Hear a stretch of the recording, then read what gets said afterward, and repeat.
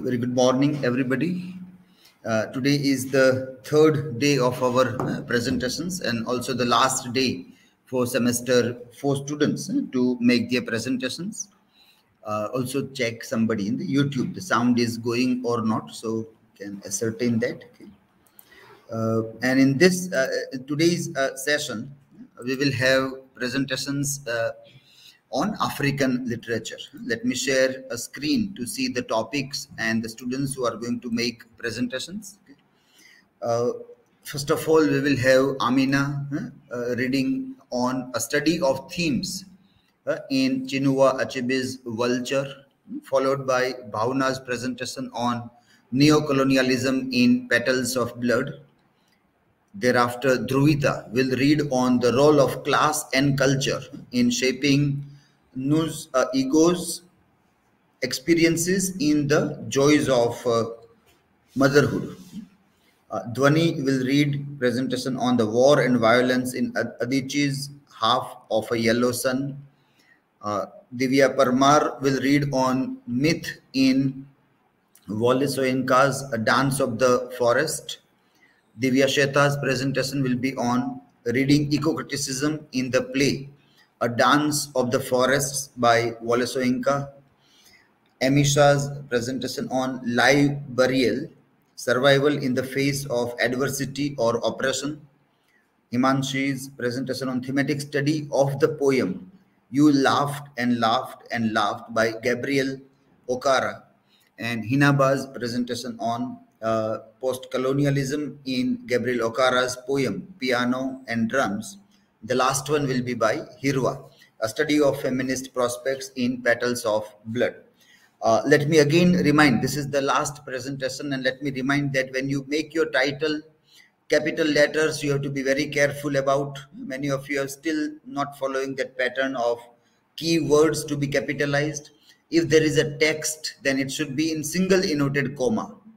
And you have to be very careful about the space also. For example, in the first one, uh, uh, there is inverted comma space V. There should be no space there. So this all you have studied in research methodology paper about spacing, about uh, uh, uh punctuation marks, uh, that but it is still not followed as a practice. So you have to be very careful that everything that we study is followed as a practice also. every time reminding the same thing doesn't look good. This is uh, the fourth uh, uh, season. Today is the last day. now we can't improve over this now. We don't have any capacity to make you uh, write your topics or titles at least uh, in a correct manner if after this many reminders. If you are not improving, I don't know how uh, now it can be done. So I hope on the last day I won't have to make a comment about at least topics. Forget about the presentations and other things that is going on in there but still here we find that simple things are forgotten uh, and uh, not put into practice uh, also. So i hope now uh, now it is up to you because now we are not going to meet for the presentations and i cannot identify your mistakes. To rectify that it will be up to you whether you are able to identify your own mistakes and errors or not. Otherwise uh, the way you perform you will keep on performing subsequently when you become either teacher or whatever uh, in your uh, life. Okay so uh, let us start with the the first presentation. And Aamena yes you can come and you can start with the first one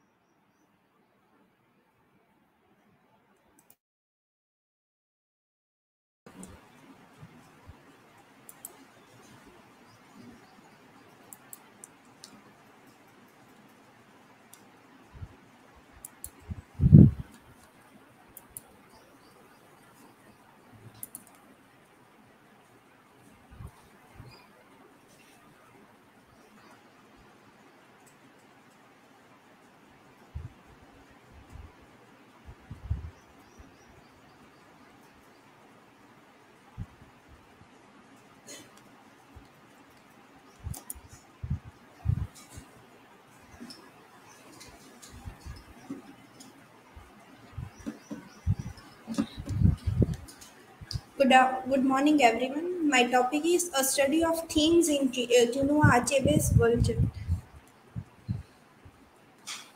Table of content. Uh, yes, sir.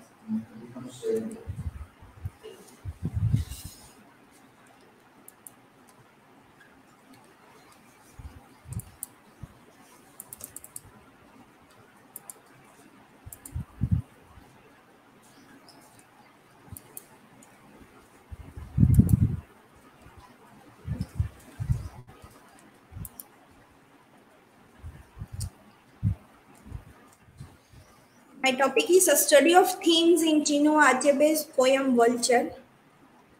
Table of content about the author, descriptive of poem, themes, conclusion, and work cited. Uh, about the author, Chinua Achebe's full name is Albert Chinua Mugo Achebe, born uh, November 16, 1930, and he died on March 21, 2013. He is a Nigerian novelist, and uh, his unsentimental de- uh, depiction of social and psychological disorientation and accompanying in, in the imposition of Western customs and values upon the traditional African. His particular concern was uh, about the African and its movements and its crisis. Uh, his novel range in the subject matter of uh, African village with the white people to educate Africans attempt to create a firm moral order out of changing the values in a large city. Uh, his famous uh, his works are uh, Things Fall Apart.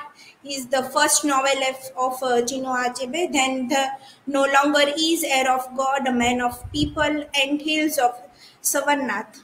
And uh, he has published short story and even uh, uh, books for children. How the leopard got his clothes. Be aware of Soul Brother.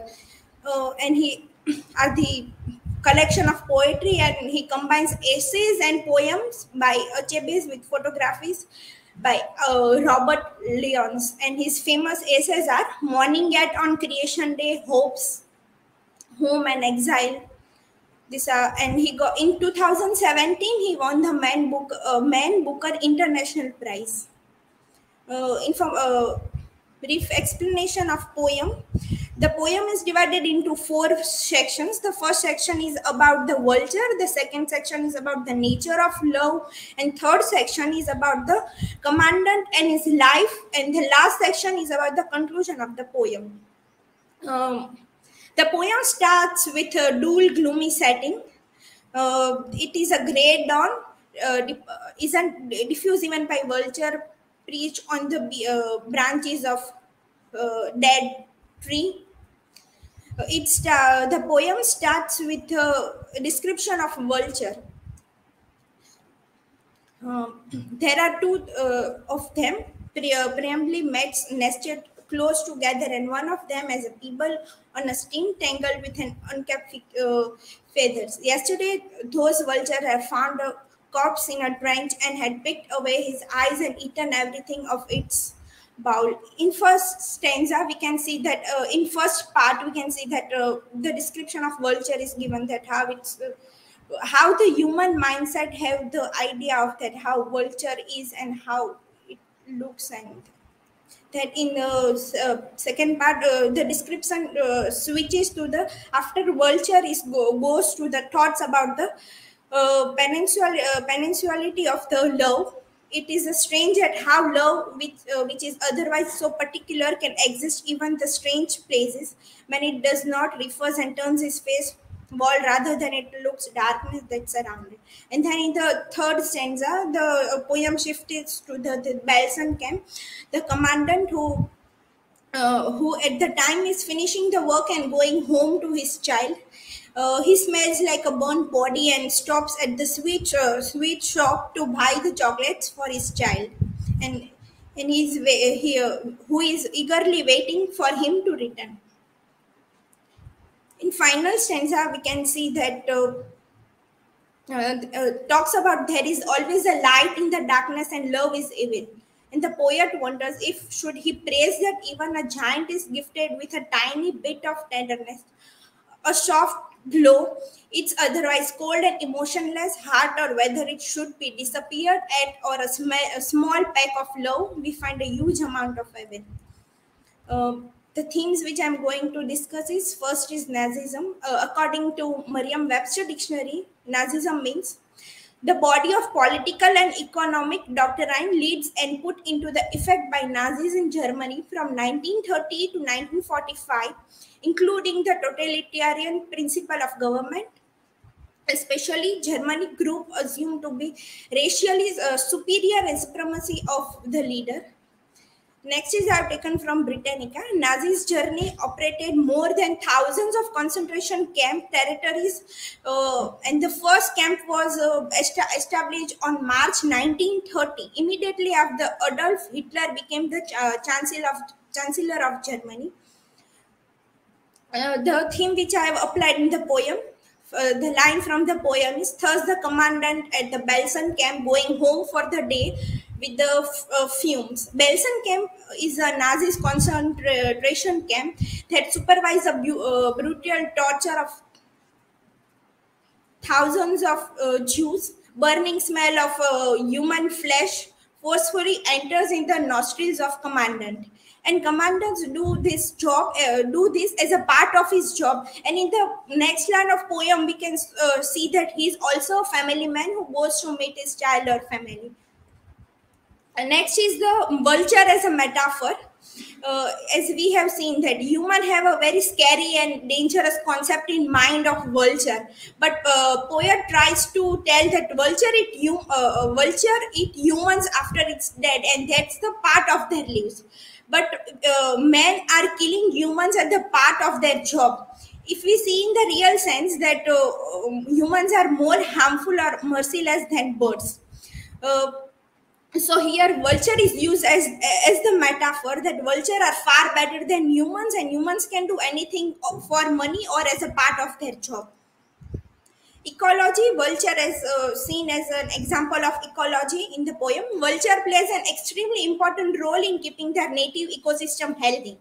Vulture prey upon the de- dead body of animals and humans. It removes waste from ecological system and it's uh, allowed to thrive in a healthy environment. In poem we can see that commandant is uh, kills other uh, human beings as a part of his job. And poet tries to tell that he has ability uh, the commandant has ability to choose that whether uh, he wants to kill or not is in his hands.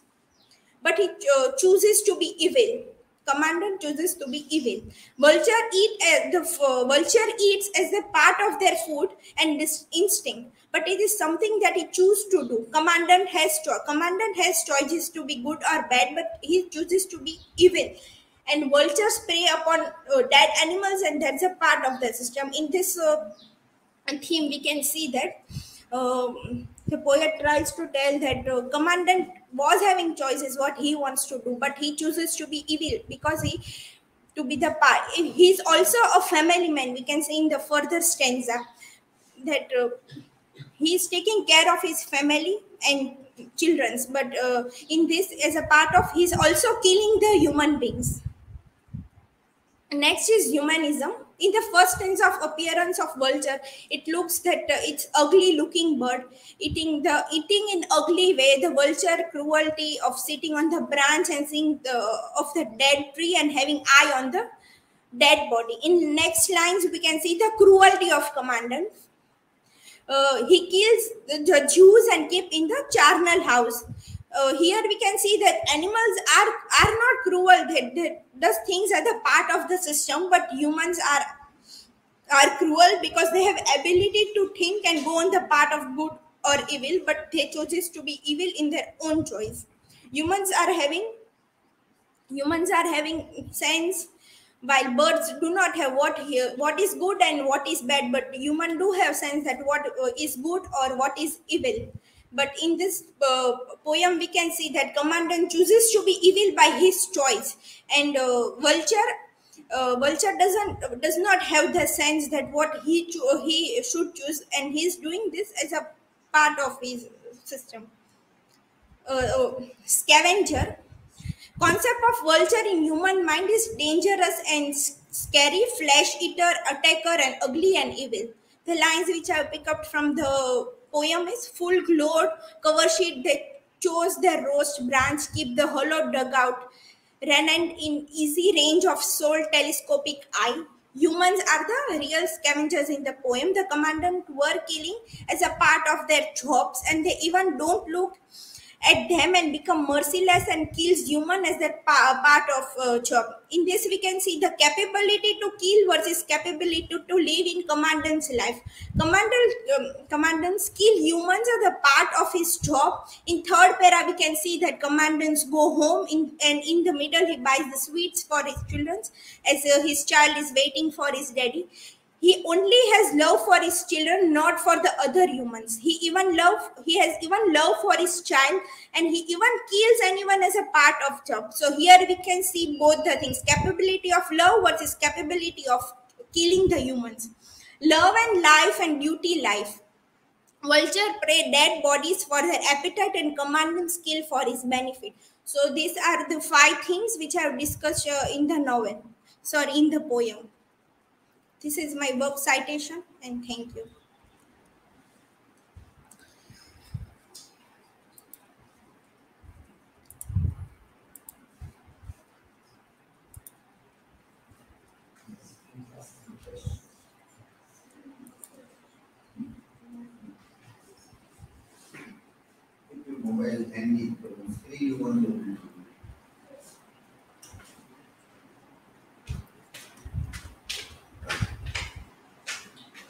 I mean, I agree discussing your thing that eco- ecology and ecology. Can you throw more light on ecological concern, political concern? Yes, so as I have discussed, discussed in the slide about the vulture, that vulture prey, uh, prey because is the his is is the part of his life, and uh, in this we can see that commandant is killing the other people. He's he was having the choice whether to be good or whether to be evil, but uh, vulture do not have that type of sense like humans. So he's doing as a part of ecology ecology and he's killing the de- he's eating the dead animals uh, and humans not the uh, live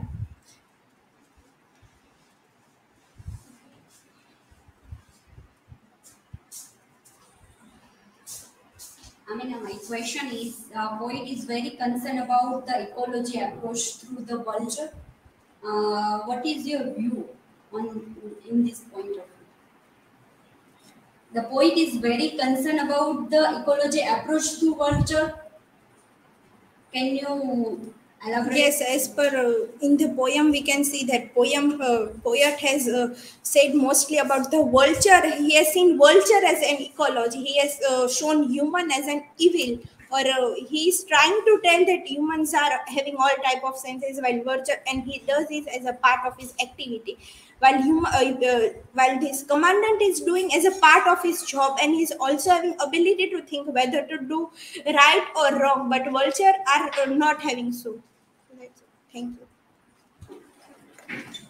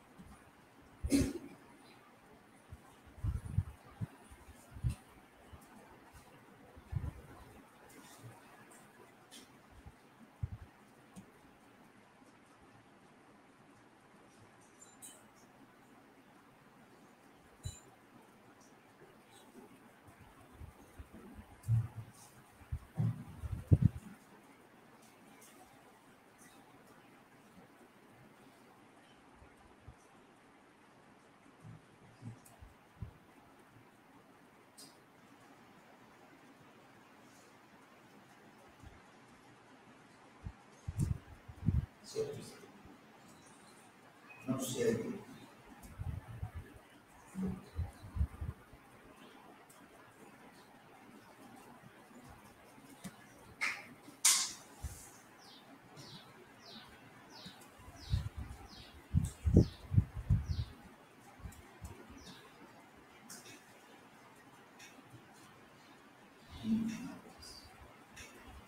Thank you.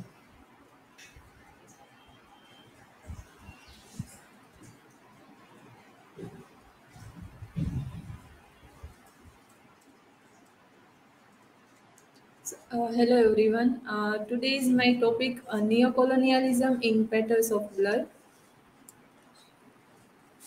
Then points to ponder about author, about novel, and what is neocolonialism, and what is uh, neocolonialism in Africa, and uh, neocolonialism Petals of Blood. Conclusion and citations about author. So Ngugi Thiong'o was born in uh, Limuru, Kenya in 1938.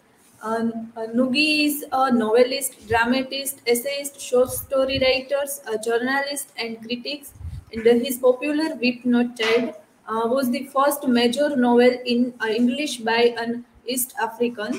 Uh, one of the uh, leading uh, African writers and scholars at work today. He is the author of Weep Not Child, the river of river between a grain of wheat, homecoming, petals of blood, uh, devil on the cross, uh, uh, uh, Matigari, uh, decolonizing the mind, uh, moving the center and dreams. And Ngugi's numerous honors are East African Nobel Prize, UNESCO First Prize, and Lotus Prize for Literature, and Fonlon uh, Nichols Prize for Artistic Excel- Excellence and Human Rights about novel uh, Petals of Blood uh, by uh, written by Ngugi wa Thiong'o and uh, uh, it is published in 1977 and uh, setting in Kenya after independence and there are two language uses English and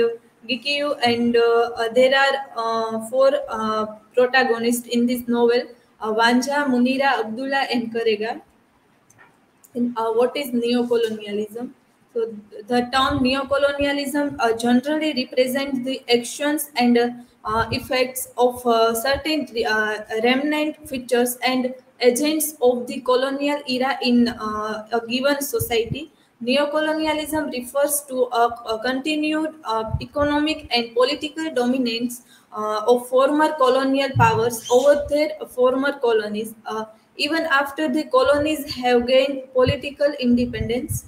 Uh, according to Nkrumah, uh, neocolonialism is a, a form of imperialism uh, in which the former colonial powers use uh, economic and political means to maintain control over their uh, former colonies. This includes maintaining economic dominance through unequal trade agreements, controlling to supply of raw materials, and using debt to keep countries in a state of dependency. Uh, argued that uh, neocolonialism is a more subtle and uh, sophisticated form uh, of colonialism as it is operates uh, through indirect means uh, rather than through direct military interventions. He writes, neocolonialism is not a sudden event, a mere hiccup in the history of imperialism. It is a phase in the development of imperialism and for this reason, uh, it has its roots in the uh, preceding uh, phases of colonialism the neocolonialism in Africa. So, uh, uh, neocolonialism in Africa uh, is similar to colon, uh, colonialism because it results from unregulated aid, trade, and uh, uh, foreign investment, uh, as well as the collaboration between African and foreign leaders. Uh, however, it uh, regrets disregards the uh, development, uh, sustainability, uh, poverty reduction, and well-being of African countries and people. The asymmetrical relationship between African states and foreign leaders leads to uh, dependence rather than interdependence. In this relationship, uh, priorities the interest of foreign leaders and African leaders, uh, while African countries and their uh, people do not benefit for, from sustainable development the neocolonialism in petals of blood. Uh, the novel is set up uh, as an investigation into the murder of three uh, Kenyans who have profited from neocolonialism, uh, Kimeria, Chui, and Mzigo. Uh, they represented the institutions of the new society, uh, the businessmen, school ad- administrators, uh, clerics, uh, and uh, legislators. Uh, they are perhaps too ins- uh, insistently venal to be fully believable characters, but they provide plenty or opportunity for Ngugi to demonstrate the hollow nature of capitalism and the insensitivity of its processes. Their counterparts parts are Karega, Wanja, and Abdullah. Uh, we see Karega finds a voice for his progressively uh, radical, uh, radicalized political Marxist view and uh, become insistent upon the uh, role the uh, community must play in its own uh, regeneration. Uh, we observed the forces that uh, lead Wanja to prostitutes uh, prostitutions are forces uh, that offer her few alternative to the self-defensive uh, posture that shapes her life under the new system. We further recognize the uh, de- uh, degradation of Abdullah from his former glory as a Mau Mau warrior uh, to his present life as a near beggar. Then uh, conclusion. Uh, Petals of Blood is a powerful critique of uh, neocolonialism in Kenya then the novel portrays how uh, neocolonialism operates through the exploitation of the poor and uh, marginalized, and uh, he, it suggests that the post uh, independence government is complicit in perpetuating the same oppressed, oppression that existed under colonialism. And, these are what cited.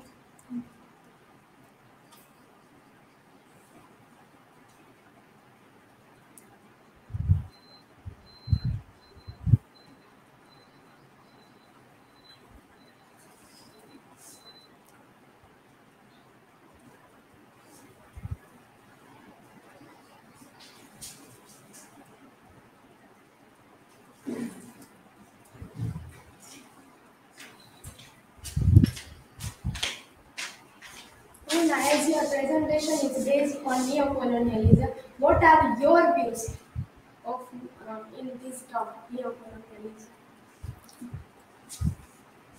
Uh, neocolonialism is uh, often achieved to, uh, through some uh, economics dominations and uh, uh, these also a relationship that favor of uh, uh, uh, developed uh, other countries and uh, uh, can be also uh, involves uh, political uh, control.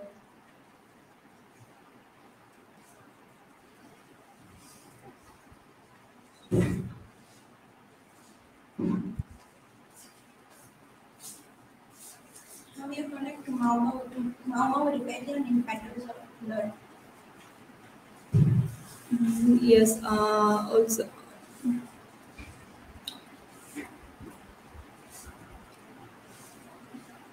Yeah. In Petals of Blood, uh, Abdullah also joined uh, Mau Mau rebellion in uh, uh,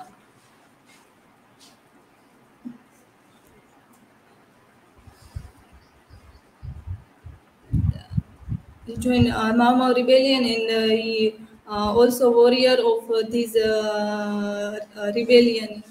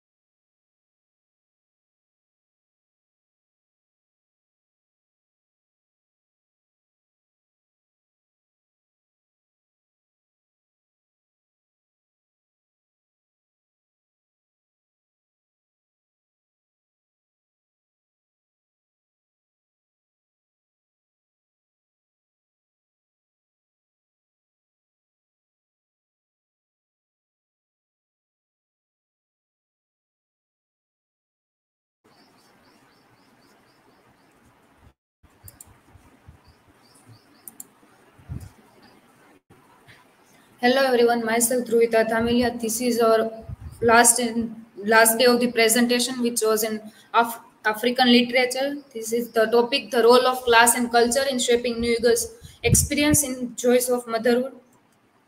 Uh, Buchi Emecheta is the Nigerian writer and uh, was a Nigerian writer. She was only she is mainly focused on the difficulty and unequal role of women in both immigrant and African society and explore the tension between tradition and moral, modernity. Emecheta's work introduced three th- major themes the quest for equal treatment, self confidence, and dignity as a woman. Much of her fiction has focused on a sexual politic, politics and racial prejudice and is based on her own experience as both a single parent and migrant woman who live in Britain. Emecheta's writing document the author's multi-layered yet interesting identities, the diasporic single woman, the sociologist observing grim urban realities, the best-selling novelist, the narrator of African myth and tradition that clash against modernity, the recreator of contin- continent enslaved traumatic historical past. M. Attention to gender and racial differences is therefore always coupled with her investigation of how this overlaps with education, poverty, and enslavement in women's quest towards self-determination and empowerment. Because of the, his concern towards self-characterization of a black woman, she always used the word womanist rather than feminist. Introduction of the novel. According to Stanley Urdu, The Joys of the Motherhood is the feminist novel and advocate the theory of feminism. This gospel with the customer to the needs of black and African American people include men, women, and children. It also look at African women's problem historically, taking into consideration racial, cultural, national, economic, and political challenges, as well as sexist one with the ultimate objective of protecting the existence and unity of all black African group. Buchi Emecheta accept this womanist gospel in the joys of motherhood, addressing sexist treatment of women as well as racial issue, national political, patriarchal, culture, and economical condition of the character. The novel, uh, multi-faced approach to women issue underscore the need for men, women, and children to work together to survive at the at the end of the novel. The joys of the motherhood, the novel. At the starting of the novel, we come to know uh, novel open with the character of Nnu Ego, who is attempt to suicide as she is not able to uh, save her child. As her she after a long time she get, got pregnant and uh, the due to her poverty she is on the work and her, when she returned he found her child she found her child died so she decided that now i am not able to fulfill the responsibility as african believe that woman's respon- responsibility is to give a birth of the child and take care of the child. So novel start with the scene that she is attempt to suicide. Nnu Ego's simple dream of becoming a mother, a dream rooted in cultural value of Igbo society, where motherhood is the primary source of women's self-esteem and public status, and happily realized several times over in his new setting. The pleasure associated with motherhood that the protagonists so eagerly anticipate, however, are ultimately neg- neglected by the difficult economic condition of a new urban environment. In short, there are so her husband, the Nnaife, who hadn't have a permanent job, though he had no worry. But the woman Nnu Ego is uh, working and lost lose her child, so she has a blame for the incident and Nnaife leave her, and uh, she she is thinking that now she has no life, so she decide to attempt suicide. The novel focusing on the grueling battle, a battle that ends in a loss of for Nnu Ego. At the end, uh, she uh, in, in the whole novel, she she is trying to be motherhood. She is proving herself as a best mother. But at the end of the novel, she is the alone as her child grow and uh, living start living uh, their own life according to their own term and condition, according to their career and the place they want to live. Modern Africa, Africa, place of woman versus cultural value. Africa has decided some not Africa, but the colonizer had decided some rule and the term of living life for the woman. In law, custom, and social order, the colonial experience in Malawi and Zimbabwe indicate the white people during colonialism severely condemn African sexual morality and women's status. They were considered to have no sexual moral at all. According to colonizer, that African women have no moral in sexuality. For example, Lomwe people of Central Africa were described their morality so low, adultery was not considered an offense. It was also reported about the women of the Manga that the chastity of women on their feeling on the subject is not considered. It is their custom to occasionally change wife. They believe that the men, the men who have a more wife, they are more richer. They have a right to choose more, more than a one wife. Another area on which African women's morality was decided was the dressing style. Uh, colonizer decided the way of dressing for the African people as they have to uh, dress up themselves as a uh, British did. So they uh, feel that they are superior than the African people. Role of women played in Igbo society according to Nigerian people or African people. Teresa Derrickson write in her- his, her article that as Kamene Okonjo points out, the popular belief that African women were important and or trivial in the male-dominated community of Igbo culture is a gross misconception. While men's labor was widely considered to be more prestigious than women's labor, and while practice of polygamy and patriarchal domicile married women dwelling in their husband's village rather than their own secure men's power over women's general. Igbo women still consider influence both within their marriage and with the larger community. Women, for example, were a major force in society, economy. They have planted their own crops, sold their crops, and they have to they have no right to choose husband also. In Igbo pre-colonial claims like the woman's only role is to give a birth to the child. If wife, uh, woman is not capable to give a birth to a child, then they are failing in the Igbo society's rule. In the novel, how character of Nnu Ego is portrayed, like according to Hiren Kumar, Buchi Emecheta applies Western feminist ideology of motherhood. At the starting of the novel, we know that Nnu Ego is only concentrating on the how she she prove herself as a best mother. As her, her mother also facing same problem that she is not able to become mother. Then Nnu Ego also have a same problem that she is not have a child and when she got child he died then uh, he married a uh, second time with the Nnaife she got a child and then she uh, believed that uh, money is nothing but the, if i have a money and poverty cannot both connect with the child if i want child then i have to live up in poverty Nnu Ego, who enjoyed her life being a mother of many children in order to have a comfortable old age, she thought that if I have more child, I will be more comfortable in my old age. But uh, the thing is not going in this way. When uh, she was asking to her, her husband that give me money for the uh, survival of the child, as they are suffering from the poverty, then her husband says that I am not giving you penny because I haven't penny to give you. And when she again asks then it is your responsibility to feed your children as best you can. These words indicate the woman is a slave of man. She is subject of oppression by patriarchal society. Nnu Ego has experience of marginalization and oppression as a mother in Emecheta's view of the African patriarchy. Motherhood of the Nnu Ego. It is important to access the meaning of motherhood for the Nnu Ego. For according to Nnu Ego, the only role of woman is to give a birth to the child. She believes that woman who is a fertile is a seen as a commodity because she is a means for her husband to express his virility and role in community. For her, for her, all the women stand to gain from motherhood is to comfort to knowledge, knowing she will be cared for by her children and community in the, her old age. Nnu Ego is also come to a belief that only son are asset to the Igbo society. She had remained herself of the old saying that money and children don't go together. If you spend all your time making money and getting rich, the God wouldn't give you any children. If you want children, you had to forget money and be content to be poor. It is this kind of generalization that keep Nnu Ego in the life of poverty. She believes mother is the only ticket our misery. Because of the Nnu Ego so readily accept the belief different from the Ogbag description, she lost all self-identity outside of the what she accept to be her role as a woman. As will be seen, Nnu Ego never assumed the role of midwife or she never dares to dream of those standards for herself. Instead, she became complete within her stifling self-image. In this way, motherhood became her prison. M. Portrayal of motherhood is the one that doesn't provide prestige or comfort, but rather one that continues to rob Nnu Ego of tools to cope with her new colonial surroundings.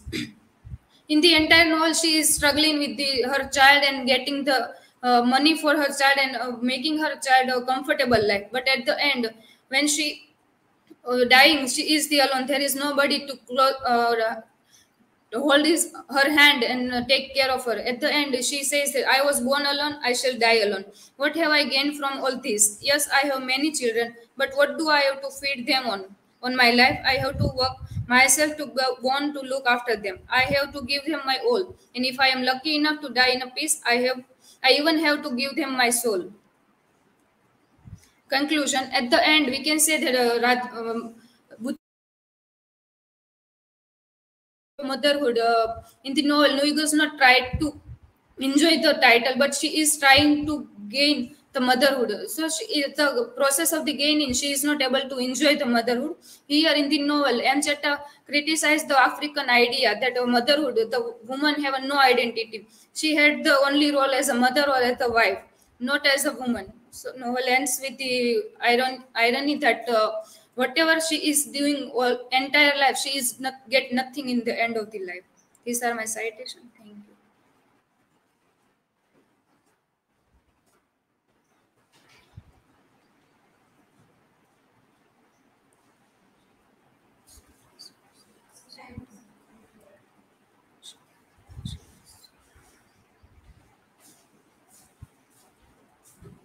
According to is Nnu Ego a suppressed voice of African society? Yes, according to me, as a, from the starting, she is only dreaming about being mother, being full, being the rule of the Igbo society made the rule. According to the rule, uh, colonizer made for them. She is not ever trying to out of trying to get out of this. So yes, she is.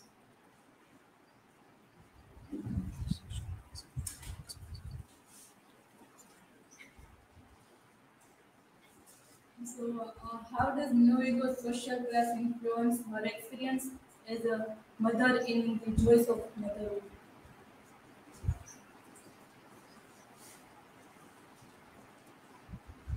She is the first time she married with the guy where uh, he lost his child. In second time when she married with the Nnaife, when uh, they both are uh, married on the terms, they both both not from same community. So they are facing uh, many kind of uh, issues, social issues. While uh, when Nnaife and Nnu Ego uh, is too much religious after the lost his first her first child.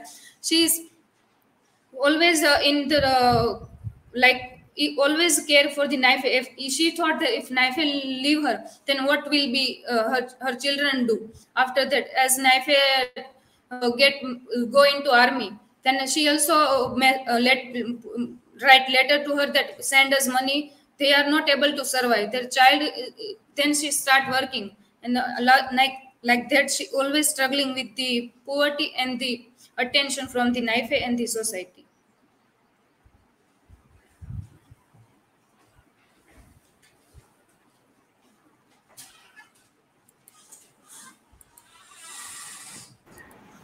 Okay, so uh, in your presentation, you have put this, no, the, the format that you have adopted, you can sit here, no problem, uh, is about uh, uh, this, that. Uh, you are putting the name of the one whose reference you are taking. And then there is a paragraph given on each and every side that, and then that is cited there.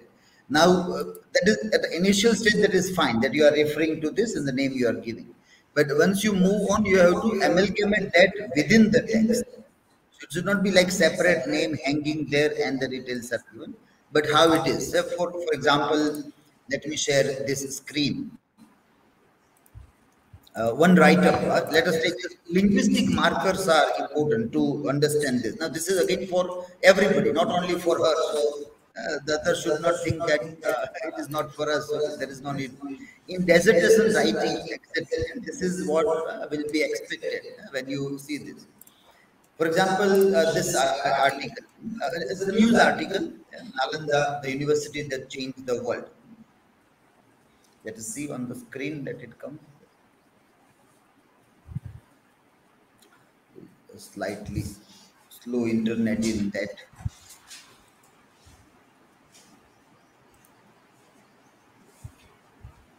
This one. So now, uh, this is not a research article, so it will not have that high quality, but at least as an example, something we can get, which we can still improve on based on the way articles are written. So this is uh, things are written there about uh, Nalanda University and other things, and then uh, at one place he refers to the article writer uh, refers to uh, this point let it get displayed on this screen.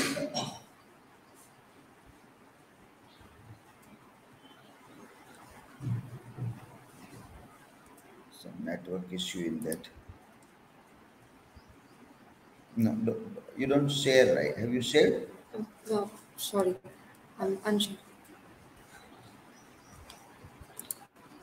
Uh, you stop sharing. Yes. again.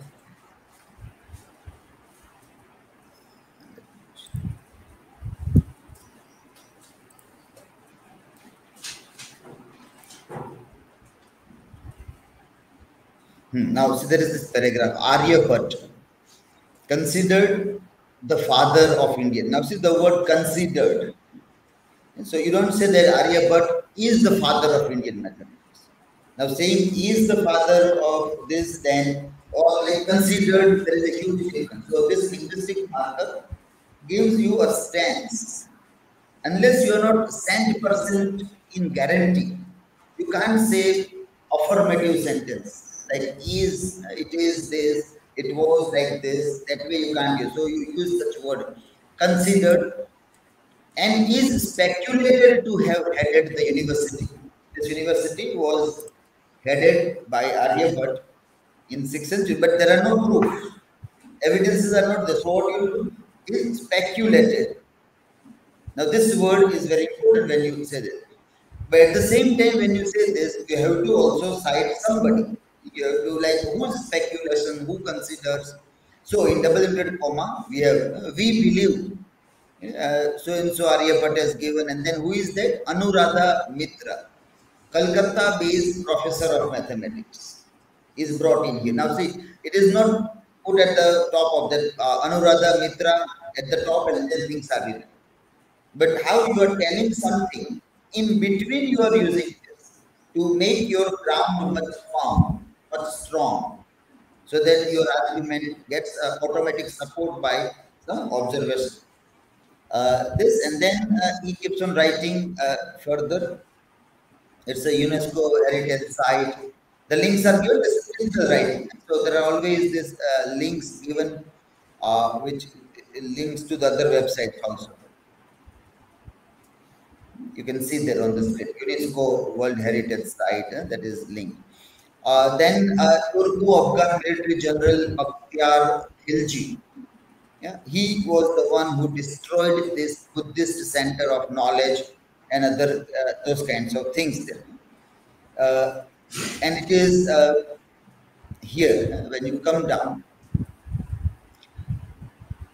somebody is showing those places that these are the places where teachers used to stand. Now, who is telling that? That uh, excavation has found the places where there were podiums for the teacher. It is Kamla Singh. Who is Kamla Singh? A, a local guide. A local guide is showing. Now, see how uh, the observation of Kamla Singh is added inside, merged within the arguments which are made.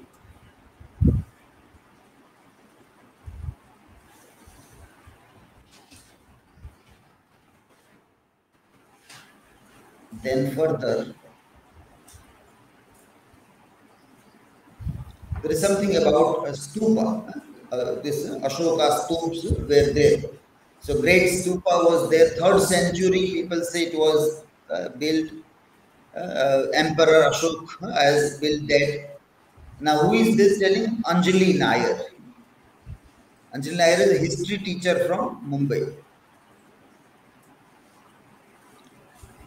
I have highlighted, but it is taking ah, this way. See how it is amalgamated within the flow of the text. All these things are within. So you are making your argument, and wherever you require the people, you are adding them.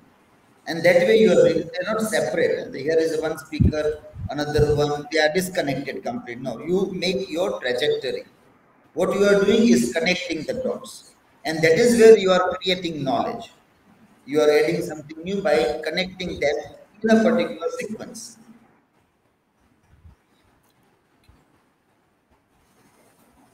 Then this also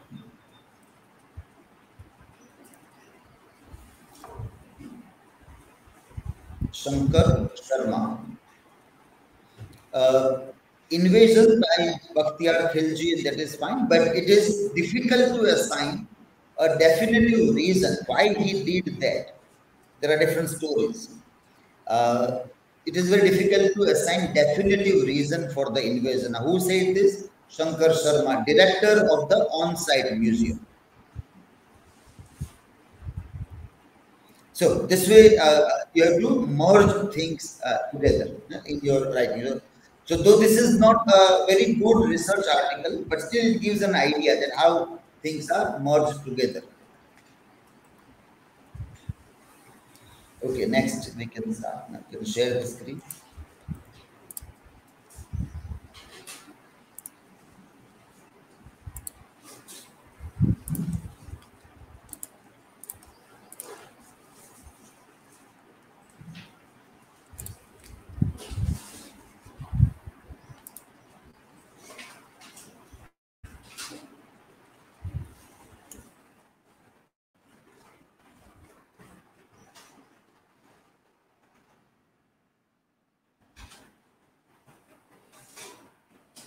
Screen and you can start. Good morning, everybody. I'm Dhvani Rajyaguru, and today I'm going to deal with war and violence in Adichie's novel Half of a Yellow Sun as a part of African literature. This is my personal information. Table of content. First, introduction, brief of author, brief of Nigerian Civil War, summary of novel, war and violence shown in the novel, and conclusion. So, first introduction war is an armed conflict that is uh, uh, related with people, tribes, or the nation. It is escourage savagery and a- as a, a terror to the highest order that has been endemic in the human society from time immemorial. It is not only it does not only affect the human but also to the entire ecosystem. And it causes unquantifiable losses. For example uh, increasing of abuses of female children and humanity too. So last year Chimamanda, ngozi adichie gave the inaugural gabriel garcia marquez lecture and in which she uh, spoke that to start a story a true story thinking of a balance is already to place an obstacle in the path of that story she said, because what one must focus on is not balance, but the truth. So the truth, the truth about Nigerian war, she has portrayed in this novel, Half of a Yellow Sun. So graceful evocation of forgotten time and the place during the Biafran, Bi- Biafran War, and it explores the accurate historical and political account of the Nigerian and Biafran War. First, a brief of author. Chimamanda uh, Adichie was born on September 15, 1977 in Enugu, Nigeria. She grew up in Nsukka, a university town in the southeastern Nigeria, where her family lived in the house formerly owned by fellow Nigerian writer Chinua Achebe. Her father was a statistics prof- prof- professor and her mother a registrar at the university. So she wrote many novels. Her first novel was Purple Hibis- Hibiscus, uh, published in 2003. It won the Commonwealth Writers' Prize for the best first book. And her second novel, Half of a Yellow Sun, which I am going to deal with, published in 2006, and historical fiction that is set during the Nigerian Biafran War and tells the story of two sisters. It won 2007's Orange Prize. The third book of her is a collection of short stories which is published in 2009 that is called The Thing Around Your Neck and it was shortlisted for the 2009 John uh, Lev- Lev- Llewellyn Rhys Memorial Prize and Zolo Commonwealth Writers Prize. So Adichie was selected in Zolo as one of the New York's 20 under 40s writer. So she is very famous novel uh, novelist. Now, brief information of Nigerian War. Nigerian War, which is also called, called as Nigerian Biafran War, it was the war between Nigeria's federal government and the breakaway state Biafra from 1967 to 1970. After Nigeria became independent in 1960, the new country sought to combine groups divided by ethnicity and religion. When the Northern Coup resulted in the murder of military and civilian member of Igbo people in 1967, they de- declared their homeland, the Eastern region, independent. It was now known as the Republic of Biafra, which is divided from Nigeria, and uh, the Ojukwu was its leader. It is increasingly vicious war that followed the FGM federal government and when it with its superior uh, superior forces ruthlessly drove back to the Biafran fighters, appalling hardship ensured for the civilian population of Biafra. Massacres were reported at the FMG's soldiers' advance. The famine took hold after the Nigerian government blockaded Biafra, banned Red Cross air. And as the world sat on its hand and ignored the developing human humanitarian disaster, hundreds and thousands died in this war. And what happened? The starvation was also there. People were died due to hunger in Biafra too. The information is taken from Britann- Britannica. Now, the summary of the novel the title is the half of a yellow sun. As you can see the biafra's flag it covers the war and the years it, it is having the sun in middle of the uh, line. So this shows the war and the years leading up to it in a sweeping story that provides both a harrowing history lesson and an engage, engaging human narrative central there are two central characters of this nori the two twin sister First is Olana and another is Kainene. And the people which are related to them. So first, uh, Olana is educated from London. She the story when the story begins, she is in love with Od- Odenigbo. Odenigbo is idolized by his newly arrived young servant Ugwu, which is her chef uh, as well as servant, and a village boy stunned by his master comparatively opulent lifestyle. Now, Kainene, the sis, uh, twin sister of Olana, is a shrewd businesswoman adept at the deal making that has also made their father rich and powerful. She falls in love with Richard, a white person, and uh, that is uh, also a, a, person, the rebellion uh, from the Igbo culture. She is the person from the Igbo culture. As the rebellion begins, Kainene sees motives that ex- escape her more naive associates uh, it, there is a, a, a, dialogue that Richard was surprised when he heard the announcement that the federal government had declared a police action to bring the rebels to order. Kainene was not. It is the oil, she said. They can't let us go easily with all that oil. Olana and Kainene embark on a very different roads, become increasingly estranged. Both are almost embarrassed by their parents' wealthy uh, dilettantes and a central crisis unfaithfulness drives the sisters still further apart and threaten Olana's relationship with Odenigbo. Uh, they now fallen apart and the scenes of Nigerian and Biafran war are there too in the novel and uh, the characters like uh, the Olana, when she goes, there is one accident that when she goes to her relative house, she uh, uh, sees that the Bifarian people are killed. So Adichie, uh, she uh, is the second generation sessionist and she has, has uh, mostly wrote about the war, Nigerian civil war about in this novel. Now, war and violence shown in the novel. First, pre-war and post-war, memory of war, memories of war, racism, horror scenes of war, and violence. So first is racism. In the novel, one of the protagonists, Odenigbo, states the white man brought racism into the world. Uh, this uh, in this, the British simply drew lines on the map in order to create political ent- entitles with while colonizing Africa. When the map of Nigeria was drawn, there were two ethnic groups, Hausa and Igbo, were put together. The predominant differences among them were Hausa, who were largely Muslim, followed feudalism, where the Igbo, mainly Christians, and purs- pursued a democratic society. After the independence of Nigeria in 1960, the conflict between Hausa and Igbo became crucial to the identities. The fights led the Igbos to secede from Nigeria and then they uh, made a country called Biafra. As a result, the war took place in order to prevent the cession and to add the region back into the country to Nigeria. The Biafrans suffered from hunger, starvation, and claimed that Nigeria was using hunger and genocide to win the war. In the end, Nigeria won the war and retained its structure as a, a unified nation, but still the ethnic groups do not identify with each other. Pre-war and post-war is also seen in the novel.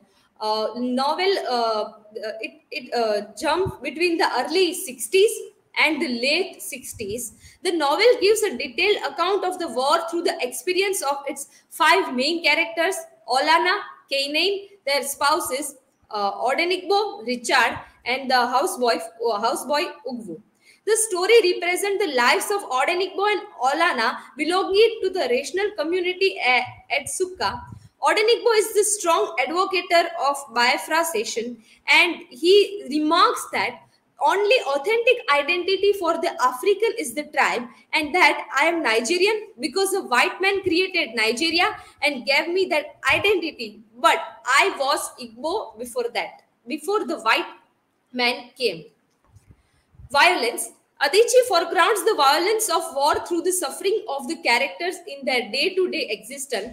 Violence uh, says the uh, Césaire in discourse on colonialism, a tool that is used by the colonizers to repress and control the colonized. Colonial rule is carried out through the force of violence, which was often cruel and uncompromising. Violence exercises power and also it exhibits the mean of subjection. In the novel, violence cannot be directly directed only towards the white community. Rather than violence, here becomes a intern, internalized, where the suffering is inflicted upon one community and in turn to other members of the black extended community.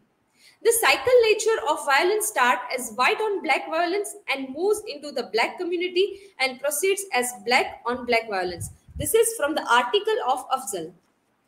So half of a yellow sun is a story about also a birth and short life of Biafra, life that ended in one or of the worst possible ways. So uh, in the chapter 4 of the novel, there is one dialogue that the world was silent when they died. They means here the Biafra. Biafra becomes a synonym for starvation, hunger, misery, children with huge belies and limbs like toothpicks, Quash your kwashiorkor, that is kwashiorkor is uh, the disease in, the, in which the uh, person is getting uh, sleep day by day. But this is not only story about the war with its horror is the scenery of, of for the story. For example the horror scenes of not only war is there but love loyalty friendship betray forgiveness eh, about fight and survival is also there. It is very universal story that placed in one precise historical content.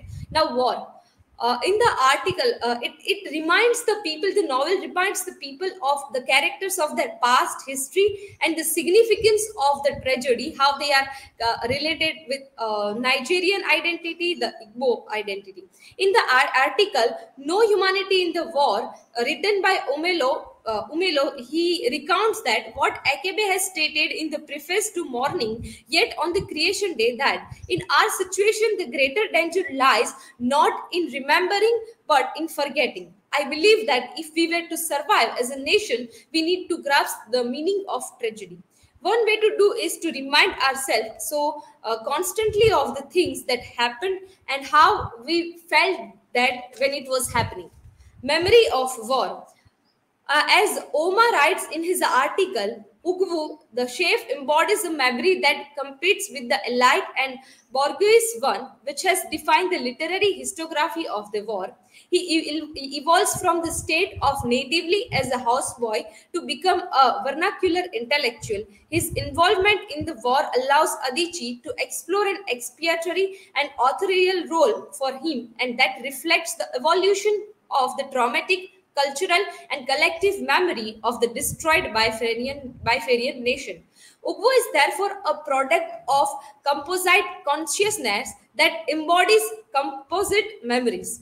These memories cut across the daily life of Ugwu's middle class employer and the trauma of the Bifarian War and his role as a child soldier.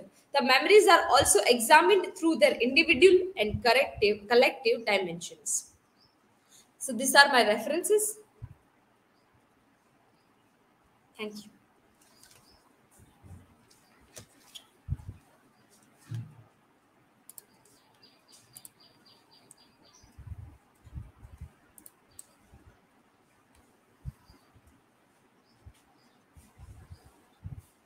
In African literature, mostly women are portrayed as the oppressed voice of society. But do you find any different perspective in of Olana and Priya?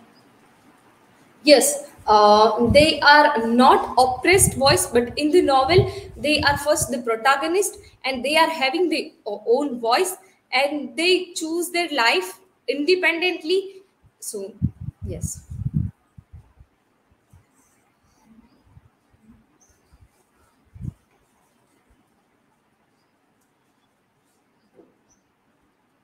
So, uh, according to how does racism convert with the novel or Yellow Sun?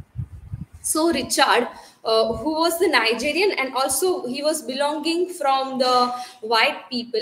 So the uh, constant uh, he he loved uh, he loved Cain, but what what was happening that constant there was constant struggle uh, struggle between the, the war is also shown in the novel. So constant struggle between white people and Nigerian was shown in that.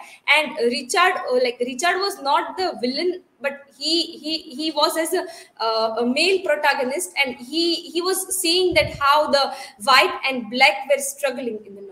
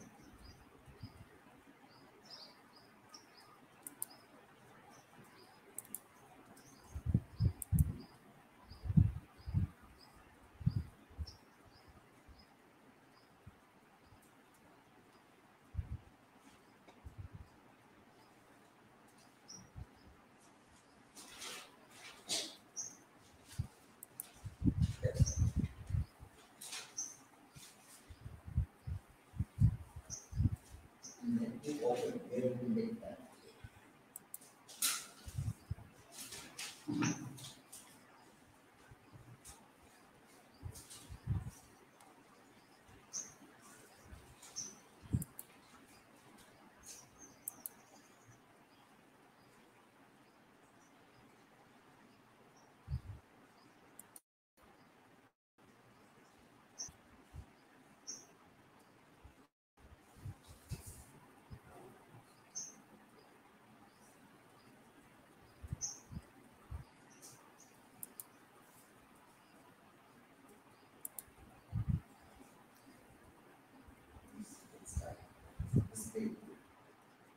uh, it's in full screen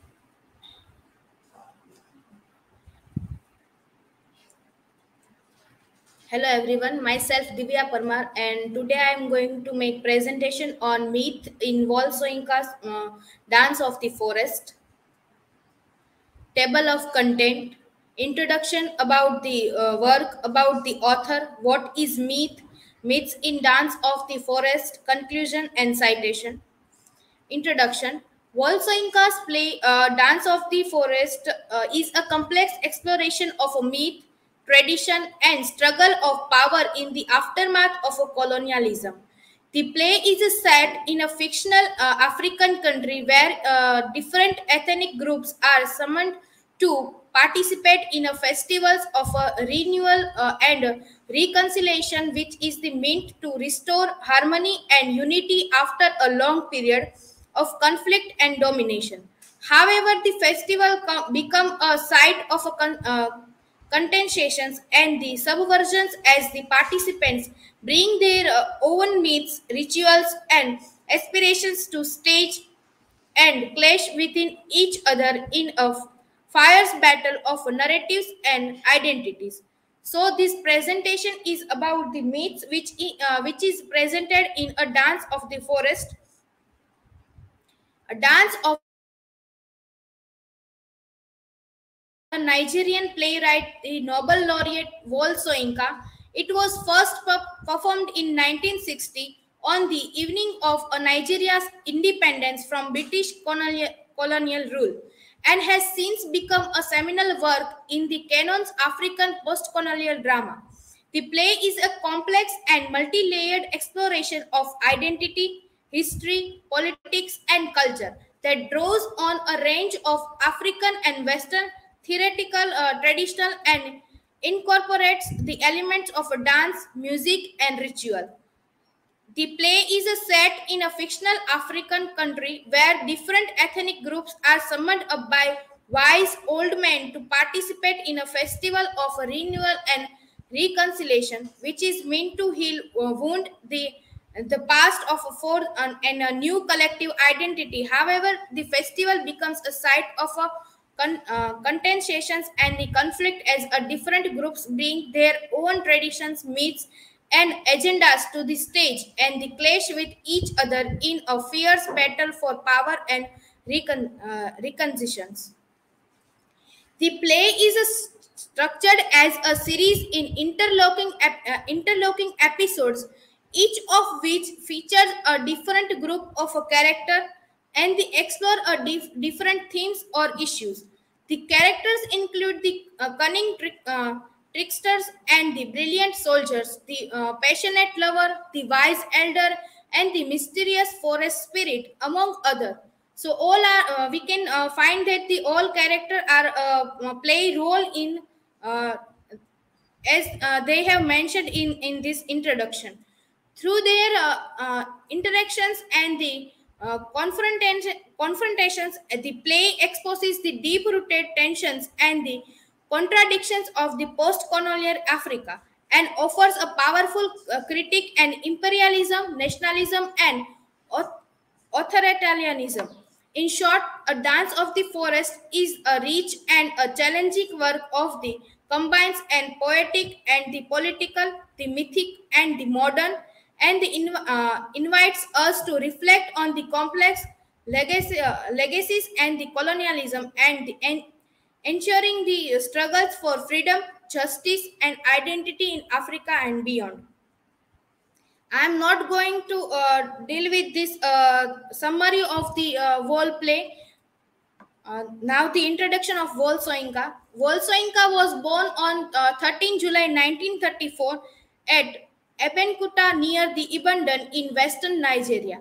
After the uh, pre- uh, preparatory university studies in 1954 at the Government College in Ibadan, he continued the University of Leeds where later in 1973 he took his doctorate.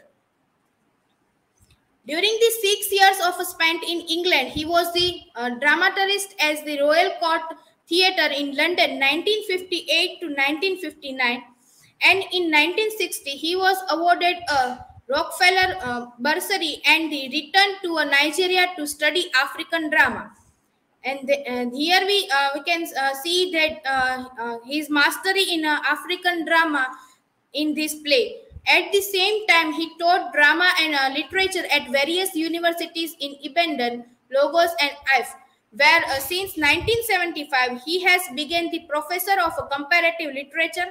In 1960, he founded the uh, uh, theater group and the 1960 Masks, and in 1964 the origin of theater company, uh, in uh, which he uh, has pro- produced his own plays and taken part as actor. He has uh, periodically been visiting professor as a University of Cambridge, Sheffield, and Yale. Uh, famous works of him The Interpreters in 1965, Seasons of Anomy in 1973, The Man Died Prison Notes 1972, A Shuttle in a Crypt 1972, and Ogun Abibiman in uh, 1976. So, what is myth? According to Cambridge Dictionary, myth means an ancient story or a set of a story, especially explaining, explaining the early history of a group of people or about nature, events, or facts. According to Merriam Webster, uh, defines myth as a usually traditional story of ob- obstinately uh, historical events that serves to unfold, unfold part of the world view of a people or explain a practice, belief, and uh, natural phenomenon. So uh, the third one is according to Collins Dictionary, a myth is a well-known story which was made up in the past of explain nature, even or justifies religious beliefs or social customs. According to Britannica, myth is a symbolic narrative usually of an unknown origin at the least partly traditional that obstinately uh, relate actual events that is especially associated with the religious belief. It is uh, distinguished from the symbolic behavior, cult, ritual, and symbolic places or objects, temples, uh, icons. Myth are a specific accounts or a gods or a superhuman being involved in the ex- extraordinary events or circumstances in uh, time that is unspecified but which is the understood as exciting uh, apart from the ordinary human experiences the term mythology denotes uh, both the study of myth and body of myths belonging to the particular religion uh, religious tradition. We can find that uh, here in african uh, african literature we can find that the uh, myth is connected with their god and their, and their relig- uh, religious beliefs. Also uh, when we compare any other literature if we compare in indian literature we also find the myth related to gods and in symbols myth in a dance of the forest. In the dance of the forest Wole Soyinka used elements of a traditional African mythology and folklore to create a richly symbolic and allegorical play. In a, uh, while reading the dance of the forest we come to know that there are three or four myths are uh, uh, referred.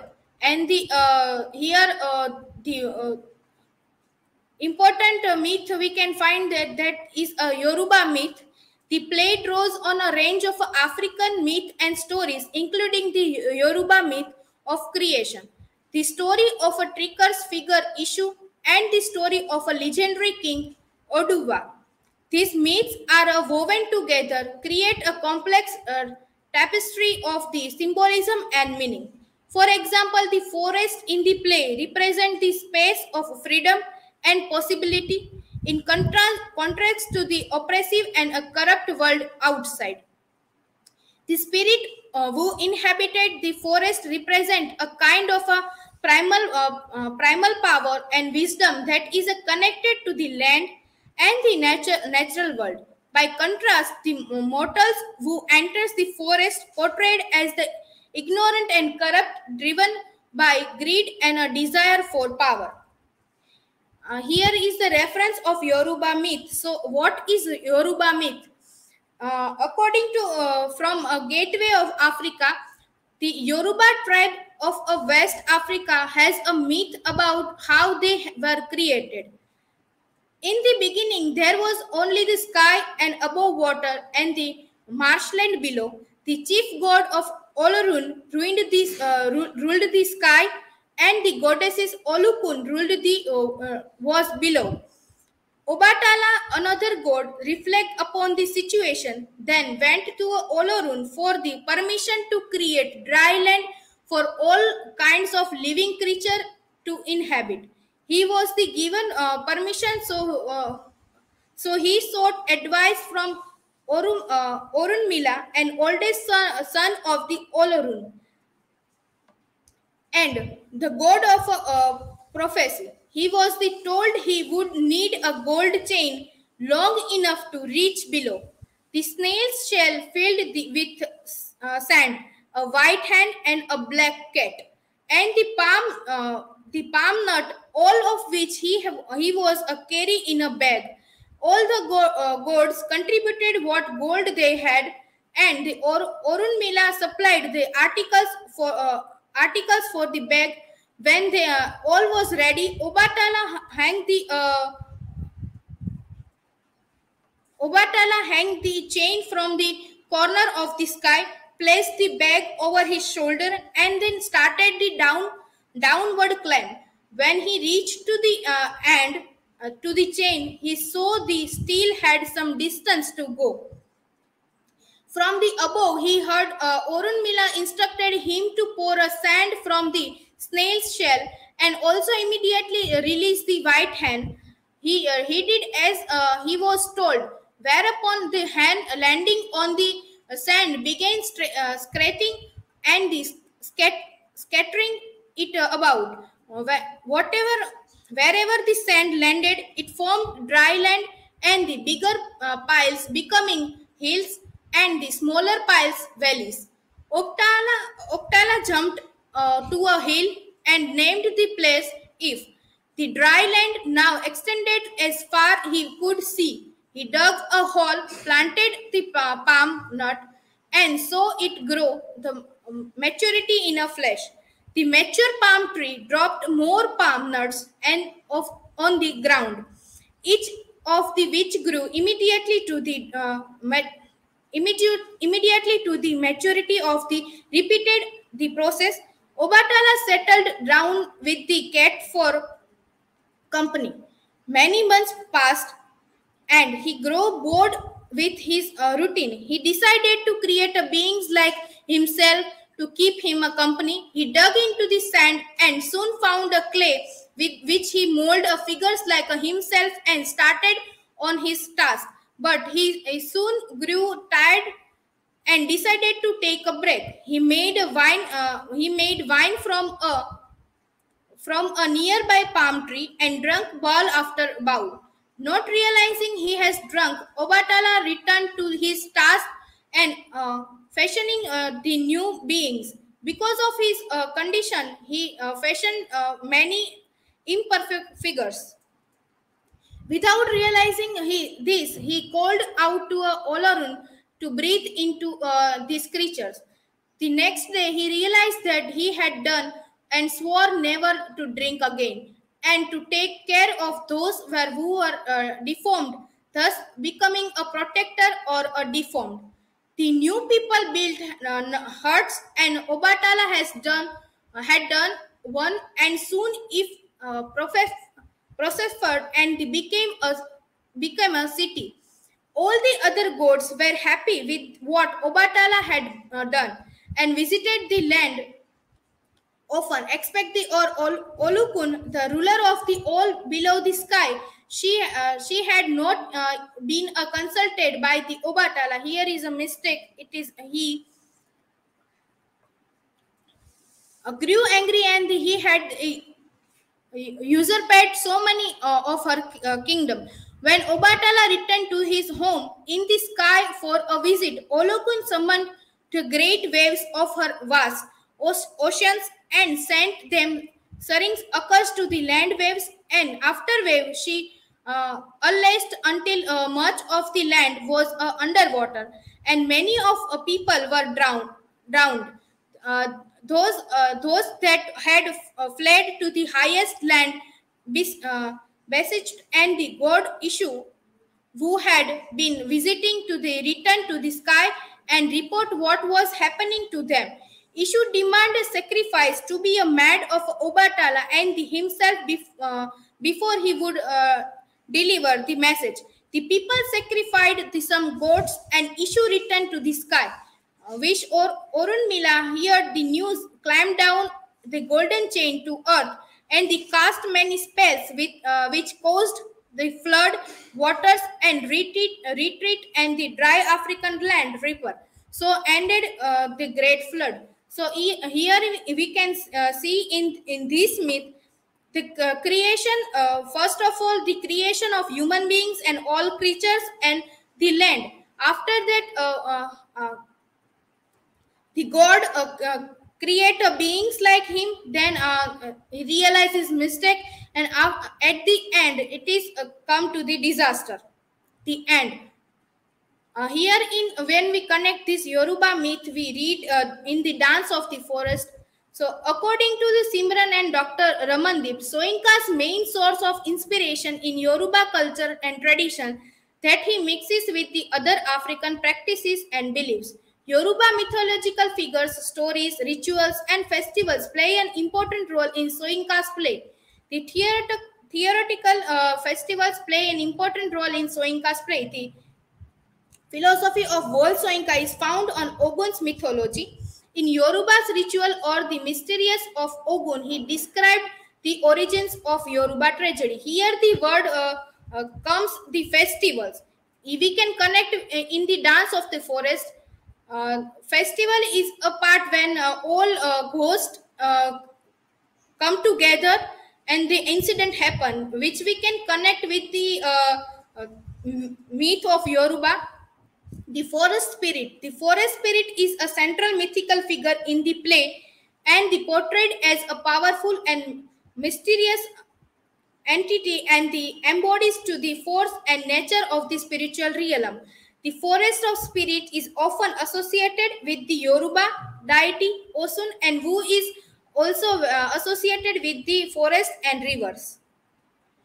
The ancestors, the Ancestral tradition and the beliefs are an important part of Yoruba culture and they play a significant role in the play. The characters often invoke the spirit of their ancestors and guide, guidance and the protections.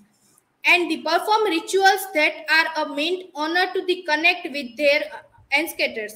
Language and symbolism. The play is written in a style of incorporates Yoruba language and symbolism which is gives it is a, a distinct flavor of adds to cultural richness.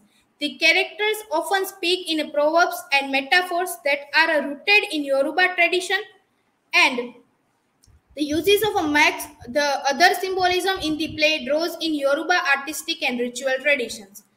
So, uh, uh, among these, there are also uh, other myths like a use of a mask and uh, symbols here we also find in Yoruba myth uh, the symbols of a uh, white hand, black cat, the sand, and uh, and the spirit. We also uh, connect these uh, symbols with the dance of the forest. And conclusion. Thus, to conclude the pre presentation, some uh, presentation, some points are pro proves the use of a myths in a dance of the forest by Wole Soyinka, which is deeply connected with the African mythology these are my work citation.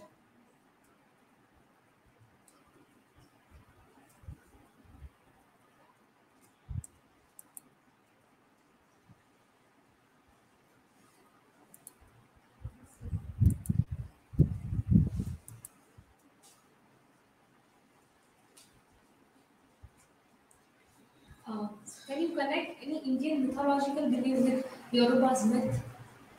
Yes, Dhani. Uh, uh, in Yoruba's myth, we can find the uh, uh the creation by God, and uh, if if we want to compare with in Indian mythological, uh, there there is also belief of Brahma, who is a creator creator of the world. So the the Brahma's myth we can connect with this.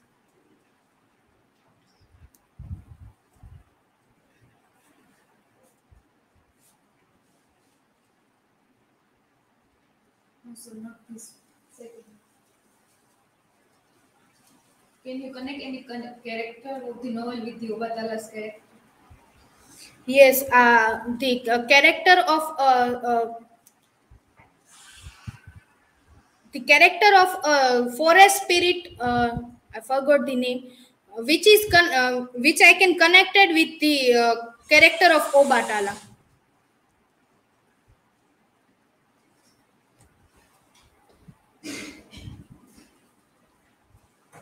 So there is a very interesting parallel, no? the creation myth, the creation of uh, even Genesis, Bible's uh, story. So that also Yoruba has a different story of uh, the creation. So that also is a good idea for comparative analysis when you think of uh, that how you can compare the myth of creation in different things. So now you get something from African way of looking also. European we have because European literature we study. Indian we have because we grow with Indian stories and mythologies. Now even African we also one can get. The same way we can be curious to know about other world like Japan, China. Uh, what are their creation myths and how, what kind of stories are uh, narrated. So it becomes a very good comparative uh, study also. So in comparative paper also it can be used and dissertation or other thing. And future research also one can think of uh, about uh, similar kind of ideas. we don't with the Indian mythology, we find books related with the, we find theories and all research upon that. We get enough source. Hmm. But when we deal with the African myth or any African beliefs, Hmm. we get Very difficult to get. Yes. uh, yeah, And uh, it is not like we, uh, if we want to cite any uh, Indian myth, we uh, got the book like uh, proper citation and who said this. But in uh, African, it become diffi- difficult. difficult to search Right. also. So that, that is also the how the first, second, and third world is divided economically and in digital space also. Digital space decides uh, which countries are developed, developing, and underdeveloped. So why African countries are underdeveloped? Because they still don't have much of digital space also. Their languages, their uh, literature, uh, everything is still not uploaded the way. So the best you find from European and Americans then even in india we struggle a lot sanskrit literature we want something we get but still not comparative because we are developing part so even uh, the digital can be the tool to see which countries are uh, uh, at the top which are at the middle and which are at the lower space also so that also this gives an understanding so when you make the similar arguments in other thing that what is it to be a developed country yeah, like when we think of becoming a Vishwa Guru, or any country would be dreaming to become Vishwa Guru, if an African country also dreams. So, what should be the parameters? So, this can be one of the many parameters. What is your digital space? What is your digital space? And that space of the nation grows when the people's space is larger. People the nation is made up of people. So if large number of people are actively involved in a meaningful manner with the digital space then that country also has uh, lots of uh, uh, space uh, uh, there. Uh, then those countries become at the top and their material their literature in large amount is made available uh, there. So that is also one of the ways to like uh, contribute into the development of a nation through digital means eh, also can be said. So when you are involved in this you realize that why some materials are available some are not available. And then you question what are the people doing? How people are uh, engaged? Now these spaces are not where you are a slave and somebody is not allowing you to do so the way time and again we go back to Macaulay kind of a thing and say that we were not allowed to study in uh, our language or we were forced English education system and so we are helpless. Uh, rather we can say that was our advantage. If we use that advantage and today we can make lots of use of that and digi- digital space also. So in post-colonial argument, when Africans also battle with that, African literature also battle a lot with the cultural conflict with the European. India also has that the same kind of a thing. At that time, these points become important. That uh, if you don't do, then how will you make yourself prominently visible to the world? Now, Africans perhaps may not be aware that somebody in India, in Gujarat, in Bhavnagar might be studying African literature and they might have a struggle in understanding our literature, our myths also, because we are not putting things in a more authentic manner. They would perhaps never come to know. Uh, but that also is the thing if we are going live so if any of the africans will ever uh, watch this video yeah, because uh, uh, this text uh, an artist of the floating world is also in one of the kenyan university syllabus nigeria uh, in one university. So that that professor has recommended these videos which we have prepared. So I, I see on my youtube that lots of people are watching from kenya so i was surprised. And then i got one day a mail from the professor that our uh, students are watching. And also many of them said that don't speak in your language. We cannot understand your language. In between i speak a lot of uh, gujarati uh, language also. So they, that is why they say that those part we cannot understand. So, so uh, it, it, that is how. So what i say that someday if somebody is listening they will realize it is actually happening also the japanese text uh, is there in the syllabus and there are a lot many people watching those videos. Uh, there so this remark also can help them that how they all can become contributors in the digital space where their country their culture their mythology can be visible to the world. Somebody doing research in a remote part can get the advantage of that also these are the things which people still don't understand that why all these things are necessary eh? why what is the outcome? It, it requires like a, we have to be at a global level to think. Then only you and if you are at, in a in a well you can't think of this that why these things are necessary that people never understand if you are only in the well eh? kupamundak eh? as we say if we think of an idea of vasudeva kutumb which is an idea which always come if you have udarachit udarachit means open mindedness if you have that only can lead to this thinking otherwise kupamundak is what our observations normally are.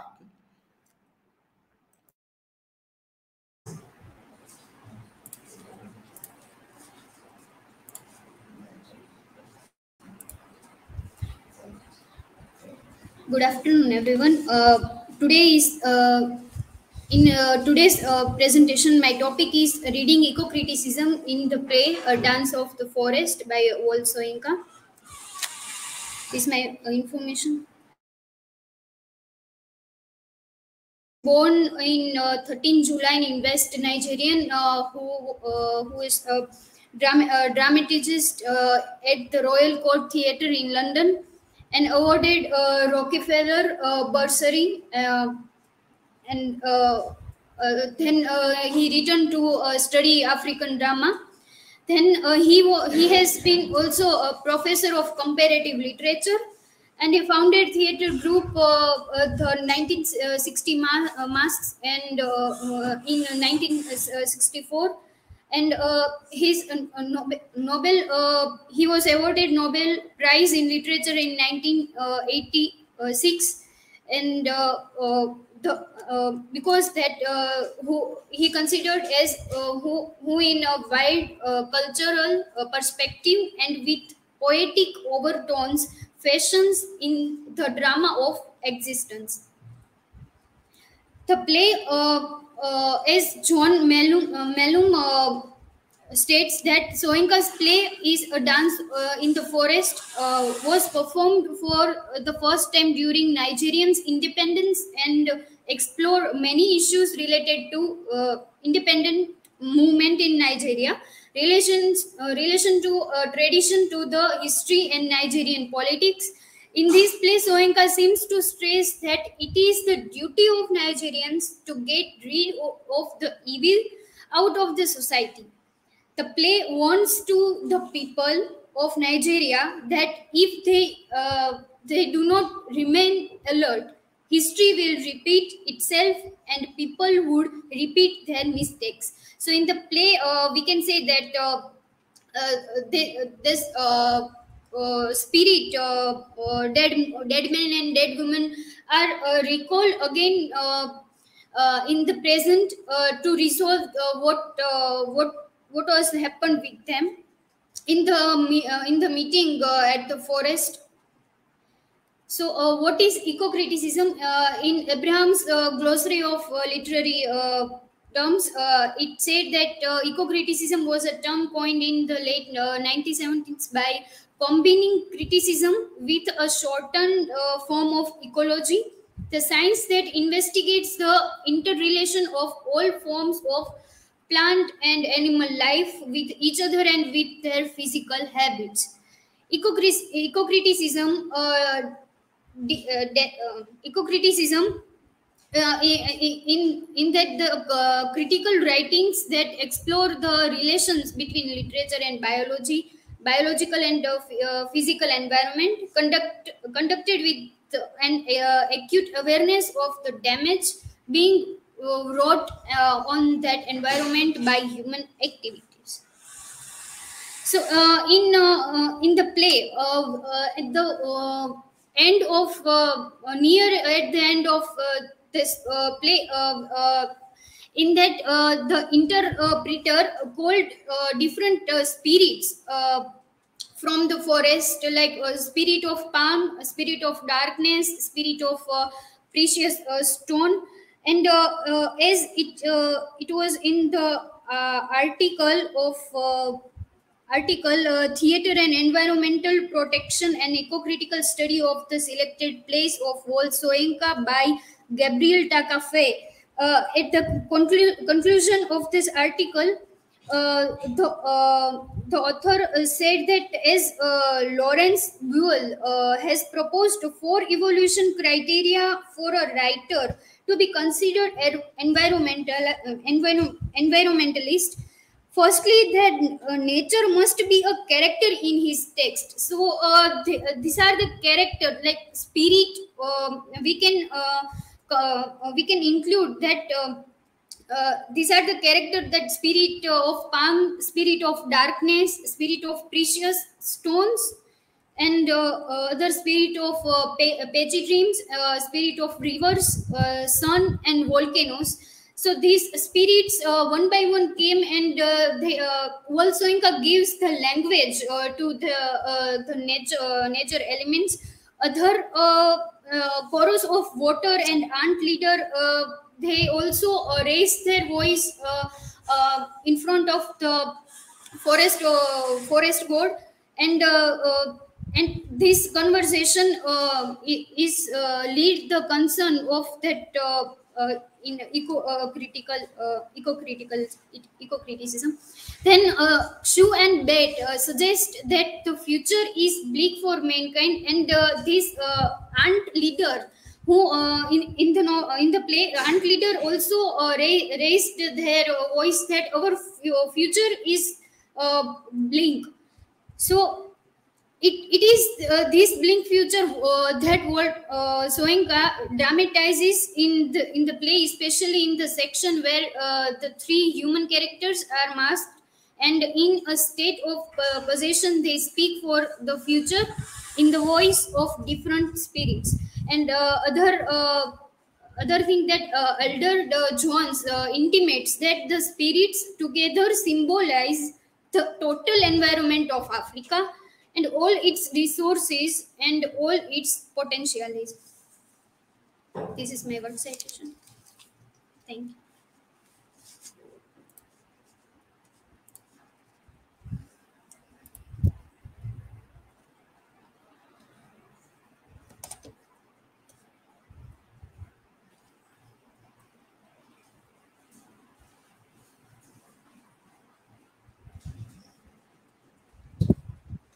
So, how author connects Philip Pachyderm's concern as a part of eco-criticism with this novel? uh, so far uh, in spirit of Pachyderms uh, i would like to connect with that in africa there there are uh, very uh, very much uh, like ivory and that ivory things were there and um in africa the they, they banned ivory uh, uh, in in the history. So uh, Pachyderms are about that um that kind of animals. Uh, so I I just connect uh, this uh, with ivory.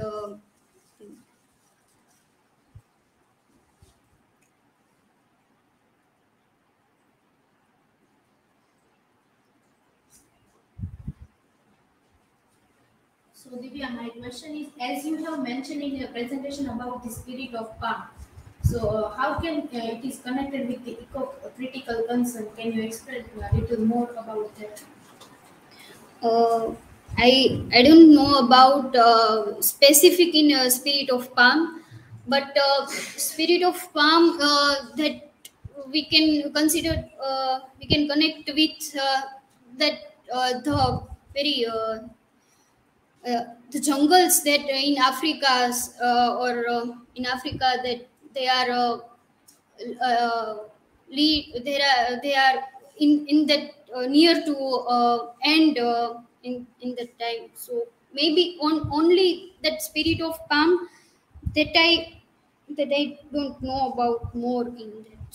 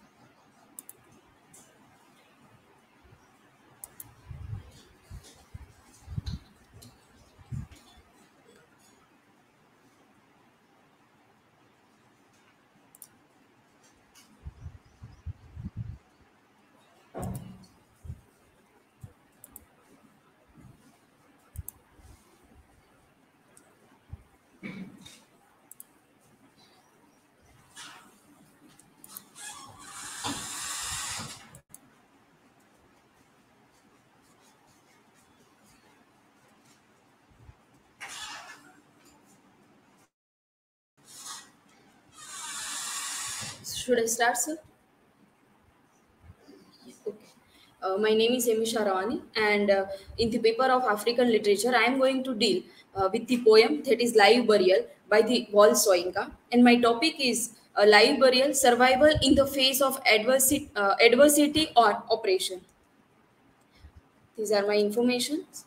And in this presentation, uh, these are the points I'm going to discuss. First uh, is that what is poetry, who is Wole Soyinka, what is uh, claustrophobia, analysis of the poem, live burial, conclusion, and that the last work cited.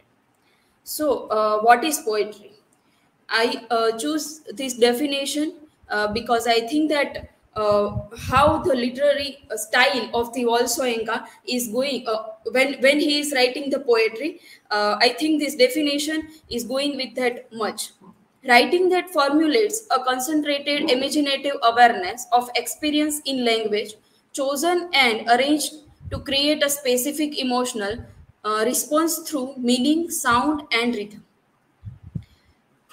African fiction in English focuses on the tension between traditional and Western modes of living and seeks to uh, place the African struggle against West, uh, Western domination and exploitation in the uh, correct perspective. Uh, we know that Africa, Africa, India, and uh, those are the third world countries were uh, uh, suffering from the colonization and after uh, the period of post colonization how people were trying to trying to seek themselves into the uh, understanding of uh, the whole process of exploitation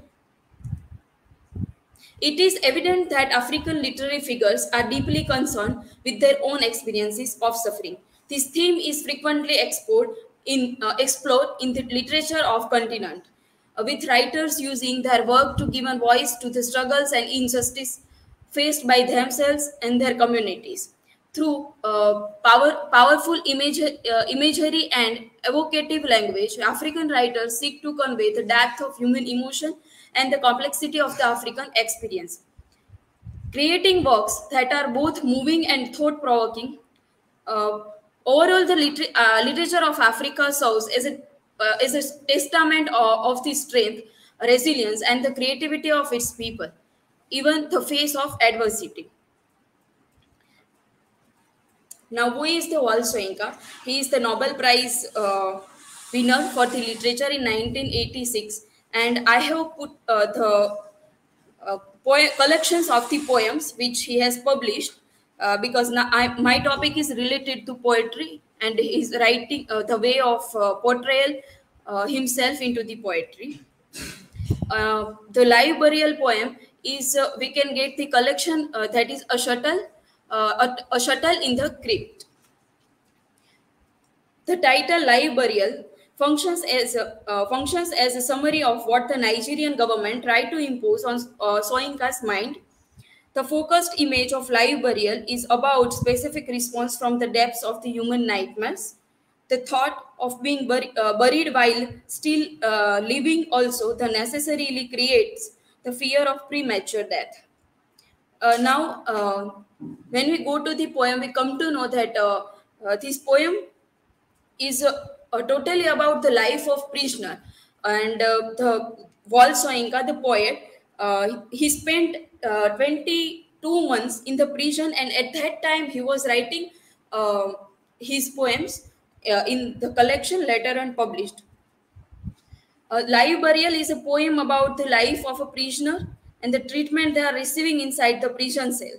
So I think this poem is a particular expression when uh, you put a poet into the prison. So how you can get the expression, uh, the feelings or the emotions, what the, they are uh, facing or the they are having while they are uh, getting themselves into the imprisonment.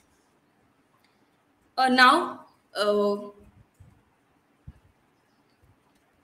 uh, what is the cla- claustrophobia? Claustrophobia is a specific phobia where one fears closed spaces.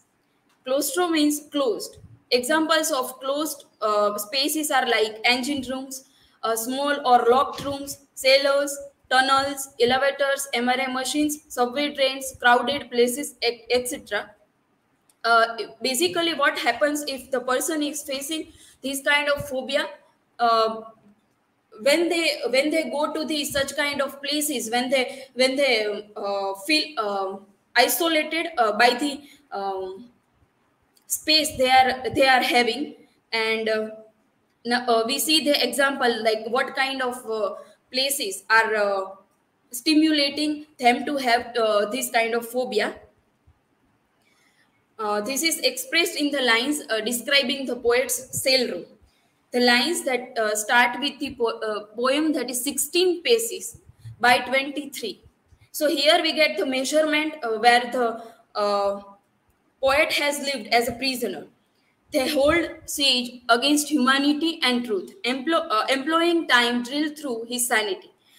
The confinement of the healthy man to a space as limited as 16 by 23 paces over an extended period of time would undoubtedly leave him feeling suffocated and restless. In fact, the poet's pacing within the cell is not an attempt to measure its dimensions, but rather an uh, effort to uh, elevate to uh, claustrophobic sensations that arise from the room's confinement.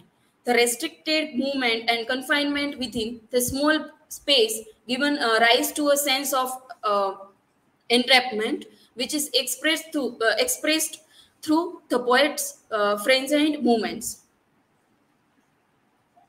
Now, uh, how these lines are having these uh, two words. Uh, room is standing as a pri- prison, and uh, he is telling the sa- sage against humanity and truth. So, a poet himself is uh, standing for the truth. Like he is feeling like he is the truth, ultimate, and uh, uh, the government of uh, th- that time has put uh, him into the prison. The poet depicts the smallness of his own cell room, which imprisons truth. Seal him live in that same necropolis. May his ghost mistress point the classic rou- route to outsiders, uh, Stygian mysteries. The word Stygian, in, uh, in addition to its meaning of gloomy and dark, uh, infernal and hellish, also specifically references to the uh, river of river of Styx, which is uh, which which in Greek mythology surrounds the uh, underworld of Hades and isolates the dead souls from the living. So Soyinka lives uh, uh, as a dead soul, isolated imprisonment uh, from the uh, world of living. Then uh, further, he is uh, going to discuss about the three guards and These, these guards are like the lizard, the ghoul, and the voyeur. The guard is habituated of the surrounding. He is sniff, sniffing the dead bodies to clear his head of sins. He had hanged thousands of innocent people on gallows and a wooden, the wooden frame. He is like a voyeur who gains pleasure by watching others who are naked. He was patrolling for, for the hours and was uh, entertained by hearing the painful voices of the prisoners. In these three stanzas, he is discussing about these three uh, about the guard by the three metaphors. Is taking the lizard, the how the lizard is uh, lizard is uh, specified there. That is, lizard is going to uh, uh, wandering on in um, on the wall and how it is making it dirty. And then he uh, put it the metaphor is the ghoul and what uh, the ghoul is standing like the the one who uh, eating the dead bodies and uh, this this kind of ghostly things and the voyeur that is uh, uh, he is dealing with when uh, when this poet is sitting on the toilet seat and uh, he's he used this specific word that is the voyeur that means uh, someone who gains pleasure by watching other as naked to conclude, we can say that Wole Soyinka has written this poem when he was in prison and wrote on the toilet paper as a prisoner. Though the poetic sense and the, its strong use of words prove us how the Nobel Prize winner poet can paint down the life when life itself is hardest. As an activist, he has thrown the light on many aspects by his writing, which are not easily visible to the common people.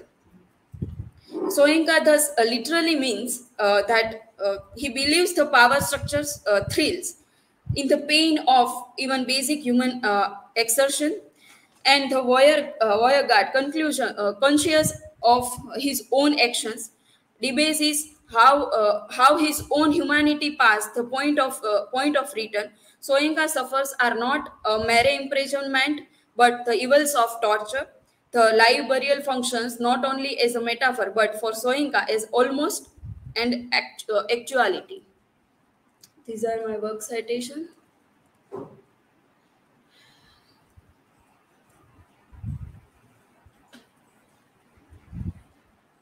Thank you.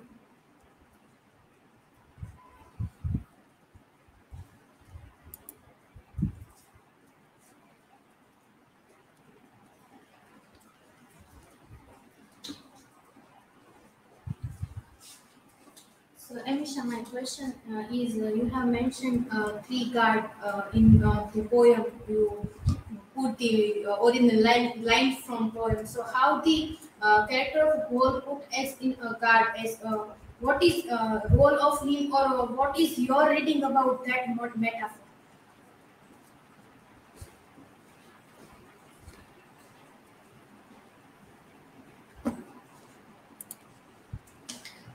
Yes. So, uh, as mentioned, that also Wole Soyinka has put uh, three metaphor to uh, to portray this actual si- situation he was facing in the prison.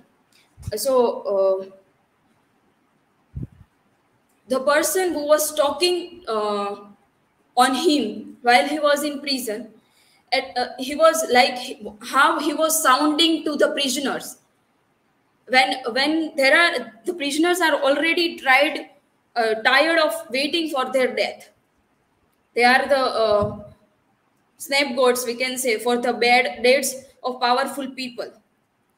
And how uh, someone is uh, how someone is longing for something to be uh, to have a salvation from that situation. And uh, if if another person is patrolling over and hours and hours to them. So here uh, he used in that sense that how ghostly things seems in our conscious or in our unconscious and how he uh, here he beautifully uh, point out the conscious feeling uh, of him while he was patrolling he was uh, the how while Soyinka was feeling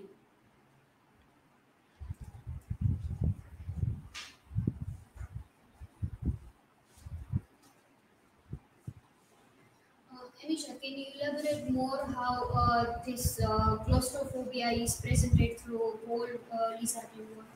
Yes.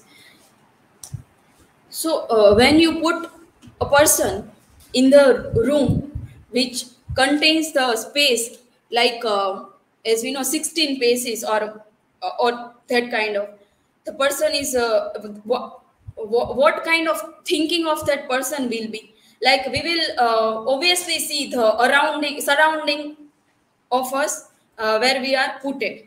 So by the time uh, if the normal person in prison they will uh, they always uh, he or she always thinks about to get uh, anxiety and all kind of things like depression.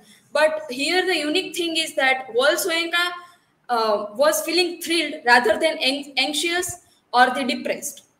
So uh, he was watching around him and the surroundings how affected to his writing. That is the best example he has used these uh, three metaphors what he was watching actually in that region cell so uh, this uh, phobia is connected to uh, that uh, like this when you have this kind of phobia you can not see beyond something which is your surrounding which is in your surroundings.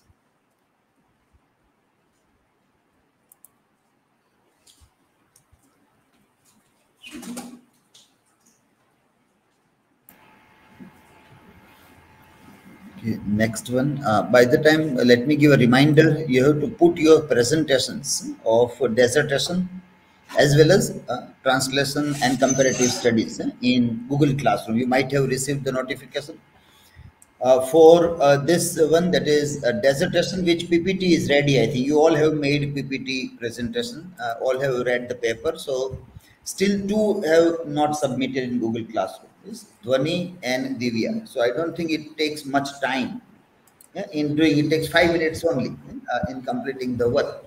Uh, then also why you people keep work incomplete that I don't understand. Something that can be done within five minutes uh, what is the purpose of keeping it uh, incomplete, which is already done. You just have to share the PPT in Google Classroom.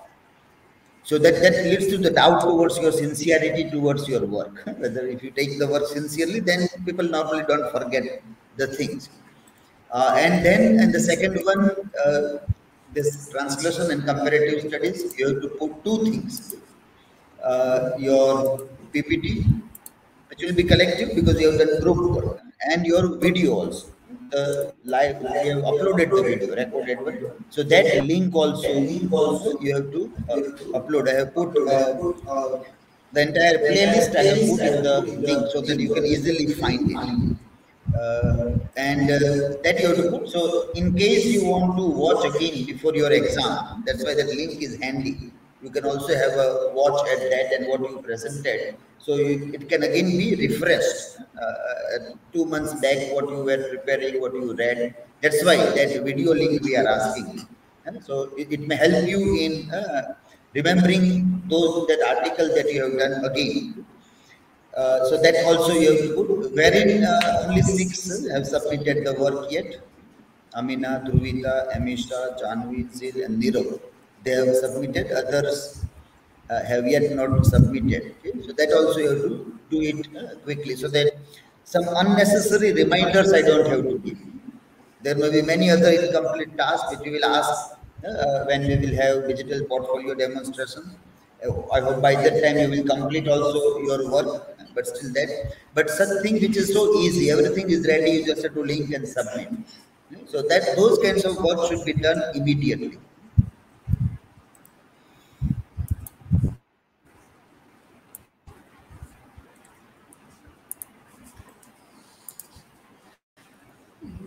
Should I start, sir? Yes. Okay. Uh, so my topic is thematic study of the poem "You Laughed and Laughed and Laughed" by Gabriel Okara. And uh, first, let me begin with about the poem. So, "You Laughed and Laughed and Laughed" is a poem by Nigerian writer Gabriel Okara that is written uh, was that was written in 1950, and it was later published in 1955 so the poem is a particularly satire on Western people who consider themselves themselves as a superior than African culture. So it is written by African African poet to satire, uh, satire, uh, satire the uh, Western mentality of superiority. And the poem includes lot many themes such like uh, cultural conflicts, modernism, colonialism, uh, uh, nationalism, and at last the racism. The poem is consists into 10 stanzas.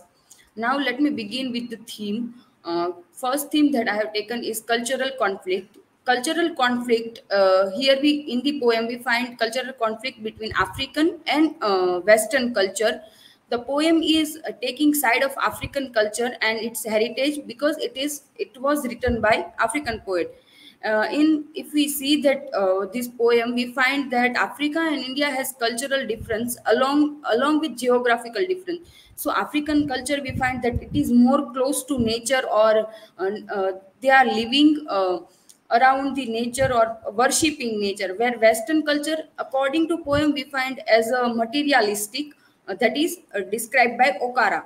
And uh, due to that we find that there is conflict between superior uh, superior and inferior because the western people are white and african people are considered as a black. So they thought the western people are uh, thinking that they are superior because they have white complexion. And uh, due to the geographical differences they had this uh, skin color.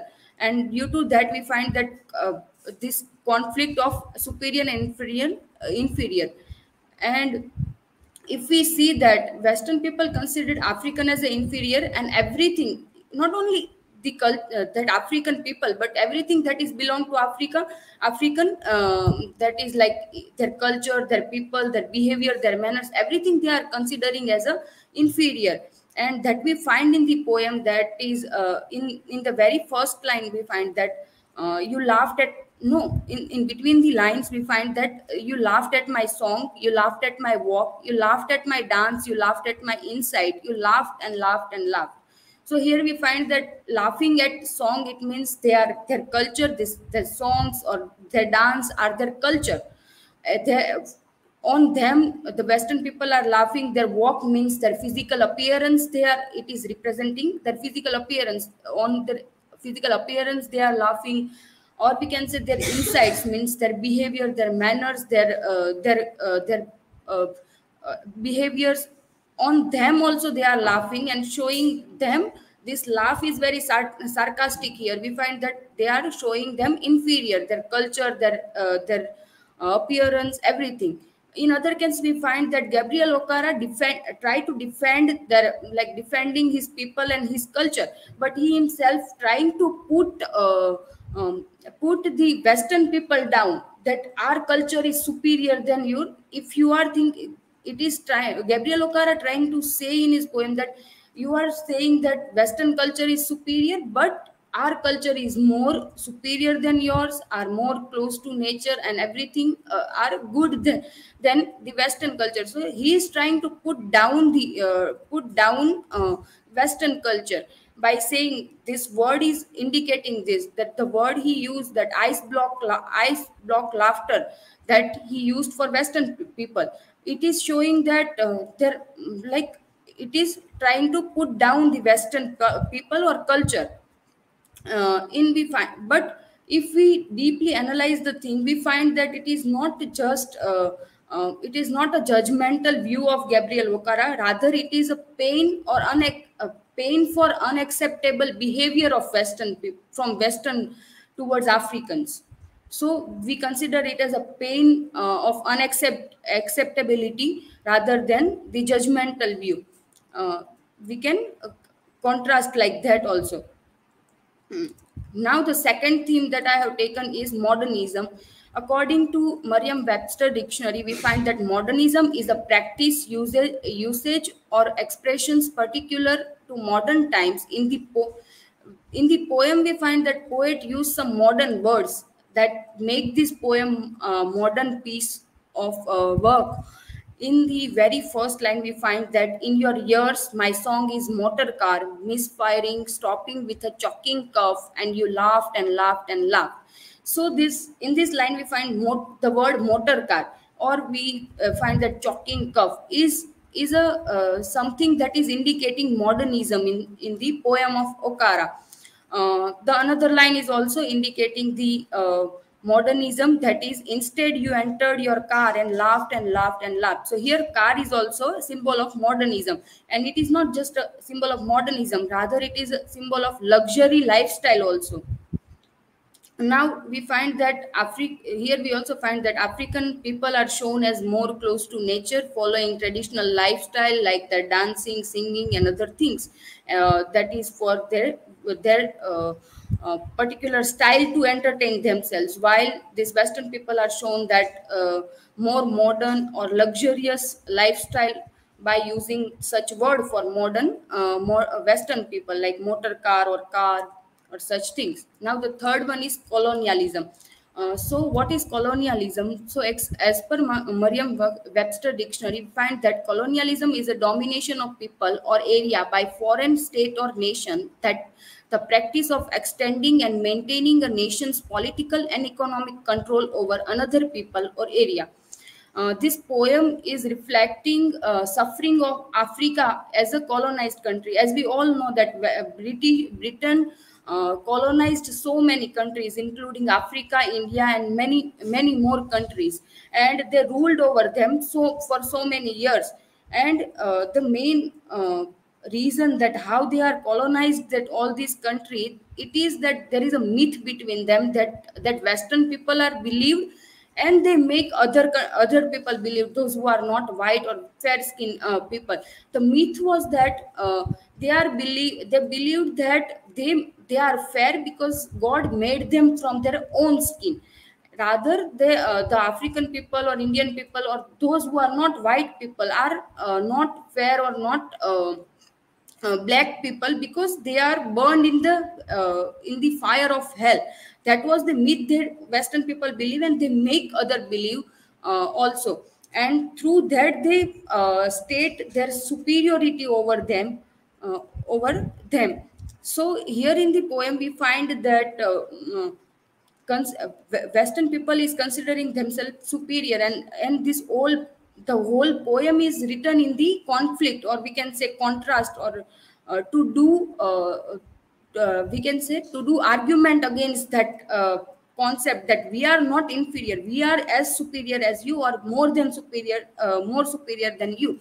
Gabriel Okara is showing uh, and when we find in the poem that uh, the laugh by western people or we can say here uh, the gabriel okara you, use you for the western people. Symbol symbolically you is used there. He is not particular directly mentioning western people but indirectly he is using. So when they are uh, uh, laughing on the dance walk songs on on the African people, it is showing a colonized mindset mindset of Western people. That is what here we find. And this laughing is like a mental torture for African people. It is uh, it is like not torturing directly, but indirectly it is torturing and making them inferior or making them feel inferior. Uh, we find that uh, there is there is a poem uh, there is one line in the poem you, we find that your laughter was ice block laughter which is which is uh, directly showing that how it is mentally torturing them uh, to african people. Now fourth is nationalism. So what is nationalism? So as per merriam webster dictionary we find that nationalism is a sense of national consciousness uh, accelerated accelerating one nation above all other and placing primary emphasis on promotion of its culture and interest interest as opposed to those who other nations or supre, supranational, uh, groups. In the poem uh, is reflecting poem's love for his nation that he wrote to uh, to defend his uh, culture or his uh, uh, nation against the mindset of colonialism or we can say a western mindset and african people are here we find is considered as a close to nature and is uh, western is considered as a more materialistic. So this nature is uh, uh, national is a symbolically uh, symbolism of african culture or we can say nationality of african where the material materialism is symbolically nationalism we can say uh, symbolic uh, uh, representation of western people. So this is their identities that is reflecting here in the poem. Uh, in the poem we find that uh, the line to support that how the nature is representing african nationality is uh, this fire of the eye of the eyes uh, of the sky the fire of the earth the fire of the air the fire of the seas and the rivers fishes animals trees and its thawed your own inside. So here in this line we we find use of many natural resources like sea eye of the sky uh, sky means sea uh, sun fire air river fish animal trees. This all natural resource, resources are representing that how african people are very close to nature and it, it is representing that african nationality or culture. And we find that another another thing that we find about africa here in this poem it is uh, like their history that one line that is indicating their history or their forefathers. It is this. So a meek wonder held your shadow and your and you whispered why so and i answered because my fathers and i i are owned by the living warmth of the earth throughout the naked feet so this is showing something background of african culture or history uh, accepting this there is a reference of magic dance which is reflecting superstitious nature of african people that they are believing such kind of magic dance or we can also consider uh, it as a their cultural dance. Now the fifth one is racism. So here i have taken two uh, um, etymological reference of uh, racism that is given by stanford encyclopedia of philosophy that indicates that the word racism comes from the root race combined with the suffix ism, which means a belief or doctrine. And the definition of uh, racism is racism is a belief that race is fundamental determinant uh, determinant of human traits and capa- uh, capacities and that racial differences produce an inherited superiority of particular race in the poem that we if we find that uh, the poem is all about the pain and suffering of black people that are colon, uh, colonized by under uh, by white uh, white colonizers. So in poem we find that how uh, the white people are neglecting uh, the black people by by neglecting all the acts of them. For example their walk their dance their existence their insights their songs and everything by laughing on them. So this laughing is also somewhere we find uh, the sarcastic. And we find that their geographical locations are quite different. So there uh, the the people who are living in western they are uh, obviously they are fair skin.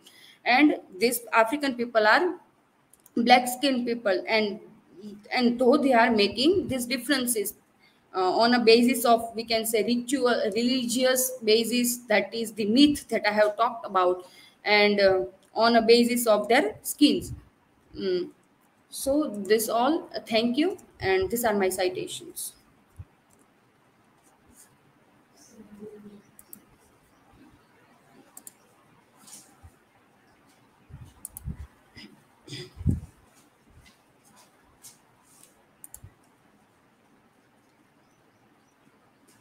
Yes, so my question is like uh, this whole poem uh, is about the sarcastic uh, approach of Western civilization, and how the uh, civilizers came and then uh, how they are valuing them higher than the uh, colonized people of Africa. So by the poem, when we go through, we find that by the using the repeated word laugh. So do you think that by writing of this poem, poet is also attempting the same thing by sarcasting them and putting a poet's culture's value higher than them. Yes.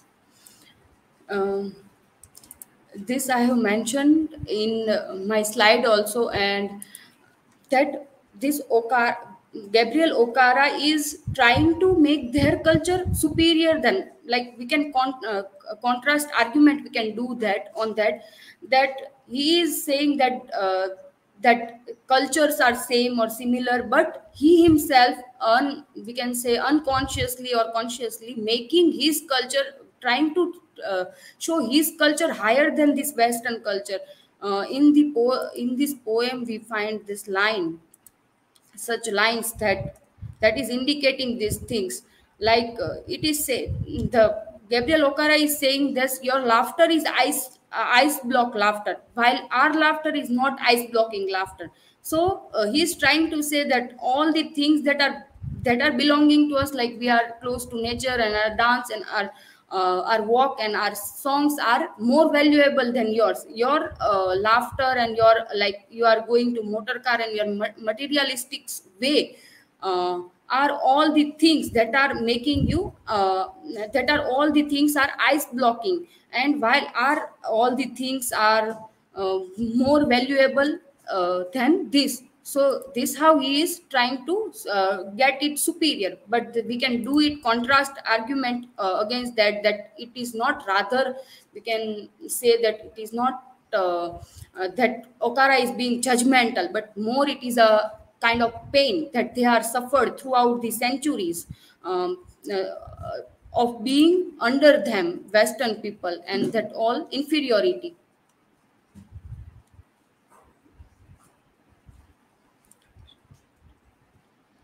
My question is very similar to uh, this above question that but uh, in uh, it, it is uh, superiority is the only way uh, uh, to concern uh, by these colonized people. Is is to showing as poet showing that uh, their culture is uh, superior as you also talked about superiority uh, several times during the presentation. But uh, it is the only uh, concern for uh, colonized people to showing their superiority or any the other uh, concerns that in the poem no it is uh, not the we cannot say that it is the major concern of showing their superiority but rather uh, they show their superiority because they want to make uh, they want to uh, state their or we can say make their authority there in in whichever country they are going. So it is very important to them to show that their superiority because if they are not showing their superior superiority no one will follow them or no will no one will um, we can say take uh, what uh, their orders or everything. So uh, we we all know that they are go mm, that western people are uh, move around the world colonize the entire uh, the many so many countries because they want to do business there they want to earn. So earning is the ba- in the basic basis of this but they they has to prove their superiority over over other people. Otherwise no one will understand them or or rather we can say that no one will follow their uh, their instructions. So that's why they are showing their superiority or religious reasons are also might be there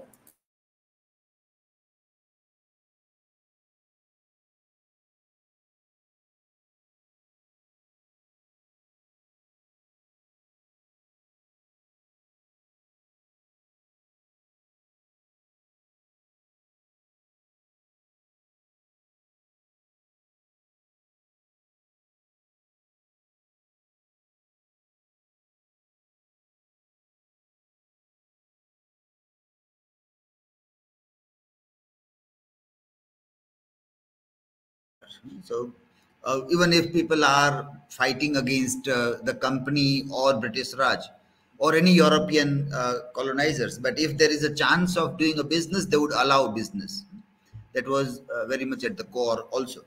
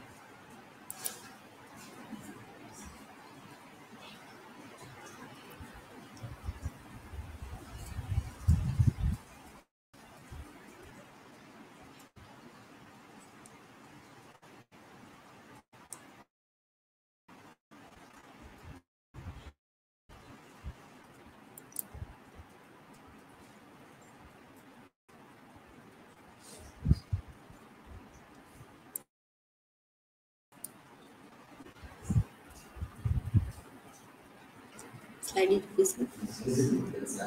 Yes, hello, I am Hinaba Sarvaiya. Today I am modeling the post-colonialism in Gabriel Okara's poem Piano and Drums. This is my personal information. Uh, about the poet, uh, Gabriel Okara's full name is Gabriel Imo Mortini uh, Gbaingbain Okara. He was born in uh, April 21st, 1921, and he was died in 25th, 5th, uh, 2019, uh, Nigeria. He was a Nigerian poet, a novelist whose works has been translated in several languages. Uh, in uh, 1953, in his poem "The Call of Lebanon," won an Nigerian Festival of Art. Some uh, some of his poems were published in the influential uh, periodical Black Orpheus on by 1916.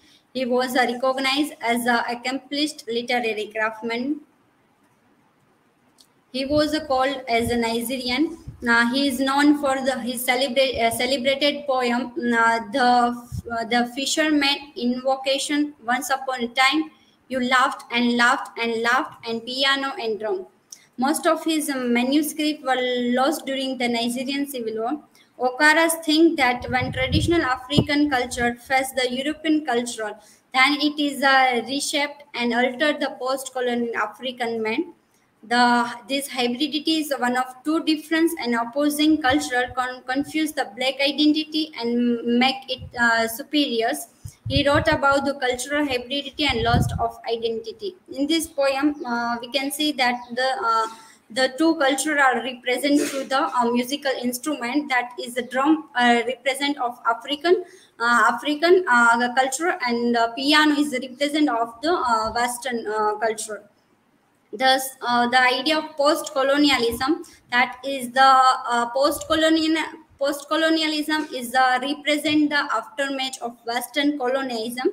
The term the term can also be used to describe the uh, concurrent uh, project of reclaim and rethinking the history and agency of people subordinate under the various form of imperialism that is uh, the the colonizer are uh, the uh, uh, suffering from the uh, the colonized pe- colonizer people. It shows that effect on the native people who have been subordinate by the colonial rules in different part of the world resulting in one of biggest chapter of history of mankind. In the the, the post-colonialism the main figures like uh, Homi K. Bhabha uh, Frantz Fanon, Edward Said, uh, we highlight the pioneer of this theory. The post-colonial African literature deals- deals with the tradition, rootlessness, liberation, racism, displacement, culture, and colonialism. As a result of colonialism in uh, Africa, the, the country witnessed uh, radical transformations and uh, in the society. The the uh, the post-colonialism is a, a poem of a piano and drum. In the in the poem, piano and dr- drums is a, uh, the poetic person uh, depict the, and portray the contrast between the traditional lifestyle. That is the piano also represent the life of uh, uh, modern world, and uh, drum is also represent the lifestyle of Africans. Uh, and uh, he showed the purity of African culture that interference by the colonizer and European civilization. In this poem, also portrayed the how the colonizers uh, uh, and European uh, civilization are affected of the uh, African culture. And he thinks that the sound of drum create a quickness of action and agility. He symbolized the dr- drum to the life of traditional African and piano to the European civilization. Uh, in the uh, the line of when at break of day at the riverside uh, here jungle drums telegraphy the mystic rhythm urgent roll like bleeding flesh speaking of primary youth this uh, line uh, represent the the po- poet uh, the the remember of his youth youthful day and he uh, the in this uh, the line the uh, the represent of the Afri- african lifestyle that is the way the poet is very connected with the nature and here is poet has used the heavy beat of the drum to show the primal youth. The memory of his native land is full of ac- action, as shown by the words such as snarling, bonds, and beating. The word telegraphy represents that poet is no longer part of the beating of the drum. And at uh, at the once i am walking simple path with no innovation it represents that uh, the poet are walking is a simple path. That is the african life that people uh, that is the african peoples are not be uh, uh, very developed uh, like uh, the uh, european development that uh, in this uh, here poet glorification of childhood run throughout the above lines. However, the path the poet show as right now was simple and without any innovation, but identified is the was moment of maxim blessing stat, and the scene then developed from the lap of mother to process of learn learning how to walk with the fact metaphorically means how to stand on on on your feet in the life of come uh, in he, then he wonderfully expressed how to baby capture the image of green leaves and white flowers through his innocent eyes and stored in the immature yet developing brain. It is a present uh, through the li- line of the groping heart in a green leaves and white flower plushy.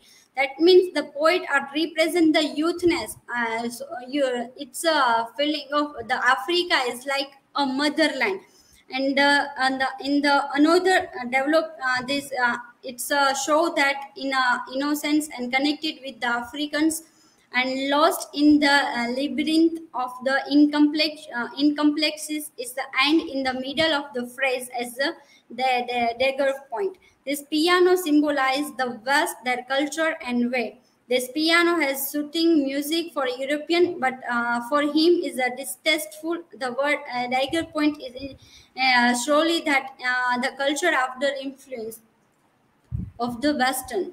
In the Mikhail uh, Bakhtin state that the hybrid is uh, on not only a double voice and double ac- uh, accented, but is also a double language for for in there are no not only uh, two individual consciousness, two voices, two accent, as there are socio linguistic consciousness, two ep- epoch that come together and consciously fight it out on the territory of utterance.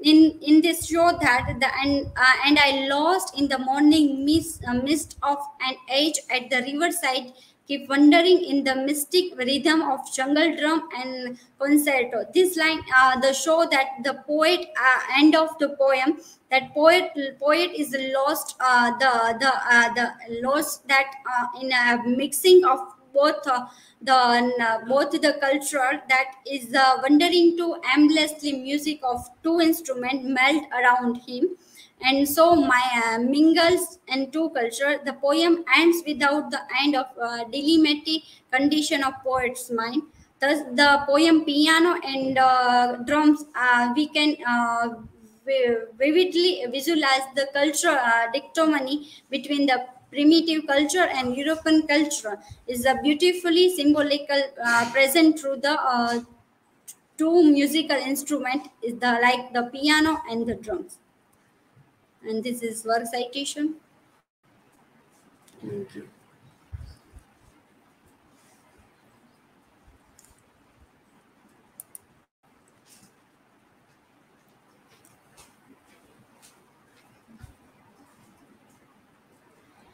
So uh, there was the mention about the factor of hybridity. So hybridity is the only factor which is responsible for the loss of identity, or uh, you find other factors for uh, that uh, the loss of identity.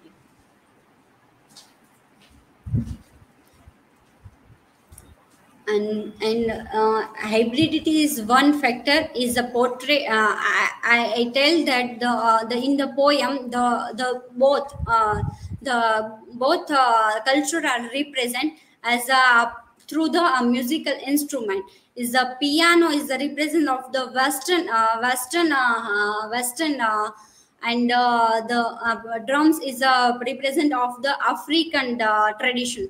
And in in the find that the the it's a here is a represent only through musical uh, musical instrument through the hybridity of cultural. But in in we in we can see that the many factors are uh, differentiate to both the cultures like the the style that is uh, and uh, the one is the uh, african the its po- po- poet are explain that the african culture are connected with the nature. And another uh, the eastern culture are, are um, uh, connected with the machines um, and um, mechanical life. That is the very differential factor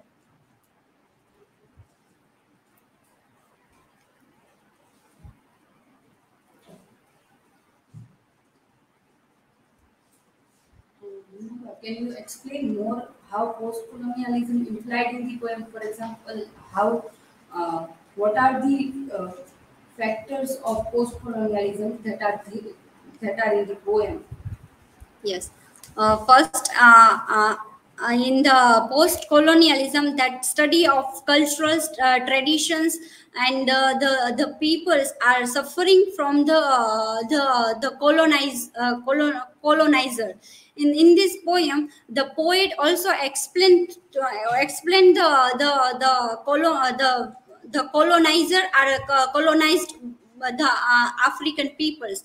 In in in the in the poet, uh, the uh, explained through the in a musical instrument. But uh, in this fa- uh, the the poet also stand that the the African cultures are are connected with nature through and it's a very simple to understand. But uh, uh, the poet uh, poet is a mm, poet uh, uh, in another say uh, third and fourth stanza he uh, explained uh, such things that is uh, the civil uh, in the european uh, westernized uh, the tradition are very different uh, from the african tradition and uh, the poet are uh, telling that the the except any of uh, a tradition it's a uh, but acceptance but uh, not uh, mingle of both the the traditions each other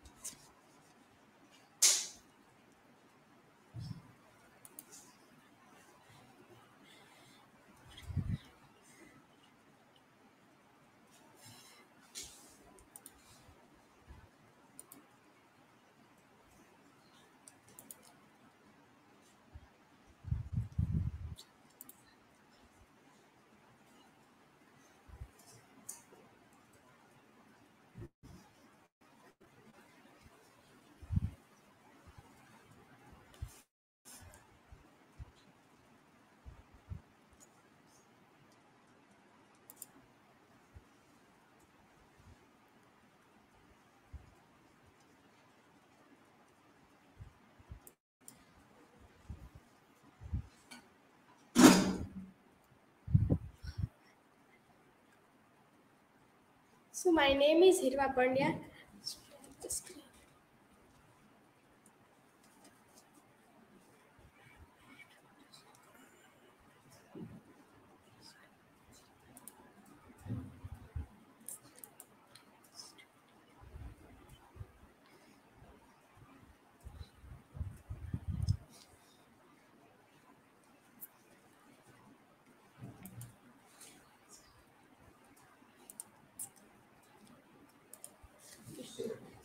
Share screen. Okay. So my name is Hirva Pandya. Today I will be talking about the feminist prospect in Petals of Blood. This is my personal information. Points to ponder about the author, novel, about feminism, history of feminism in Kenya, because this novel is setting set in the Kenya. Feminist prospect in the novel, conclusion and work citation. About the author, Gugia Thiongo, original name James Thiong'o Ngugi, born January 5th, 1938, Kenyan writer who was considered East Africa's leading novelist. His popular works are Weep Not Child was the first major novel in the colonialism in Africa. Ngugi represent, presented his idea on literature, culture, and politics in numerous essays and lectures, which were collected in Homecoming, Writers in Politics, Barrel of a Pen, Moving the Center, Politics of Language in African Literature. Ngugi argued uh, African language literature as the only authentic voice for African and stated his own intention of writing only in Kikuyu or Kiswahili from the point on. About the novel, the novel revolves around the three men and one woman. The four friends reveal different aspects of their history to each other piecemeal, just as their families had godly explained the past to them. Petals of Blood is a novel Kenyan author by Ngugi wa Thiong'o published in 1977. The novel tells the story of four characters, Munira, Karega, Wanja, and Abdullah, whose lives intersect in a small town in Kenya. It deals with social and economical problems in East Africa after independence, particularly the continued exploitation of peasants and workers by foreign business interest, interested and greedy indigenous bourgeois. bourgeois.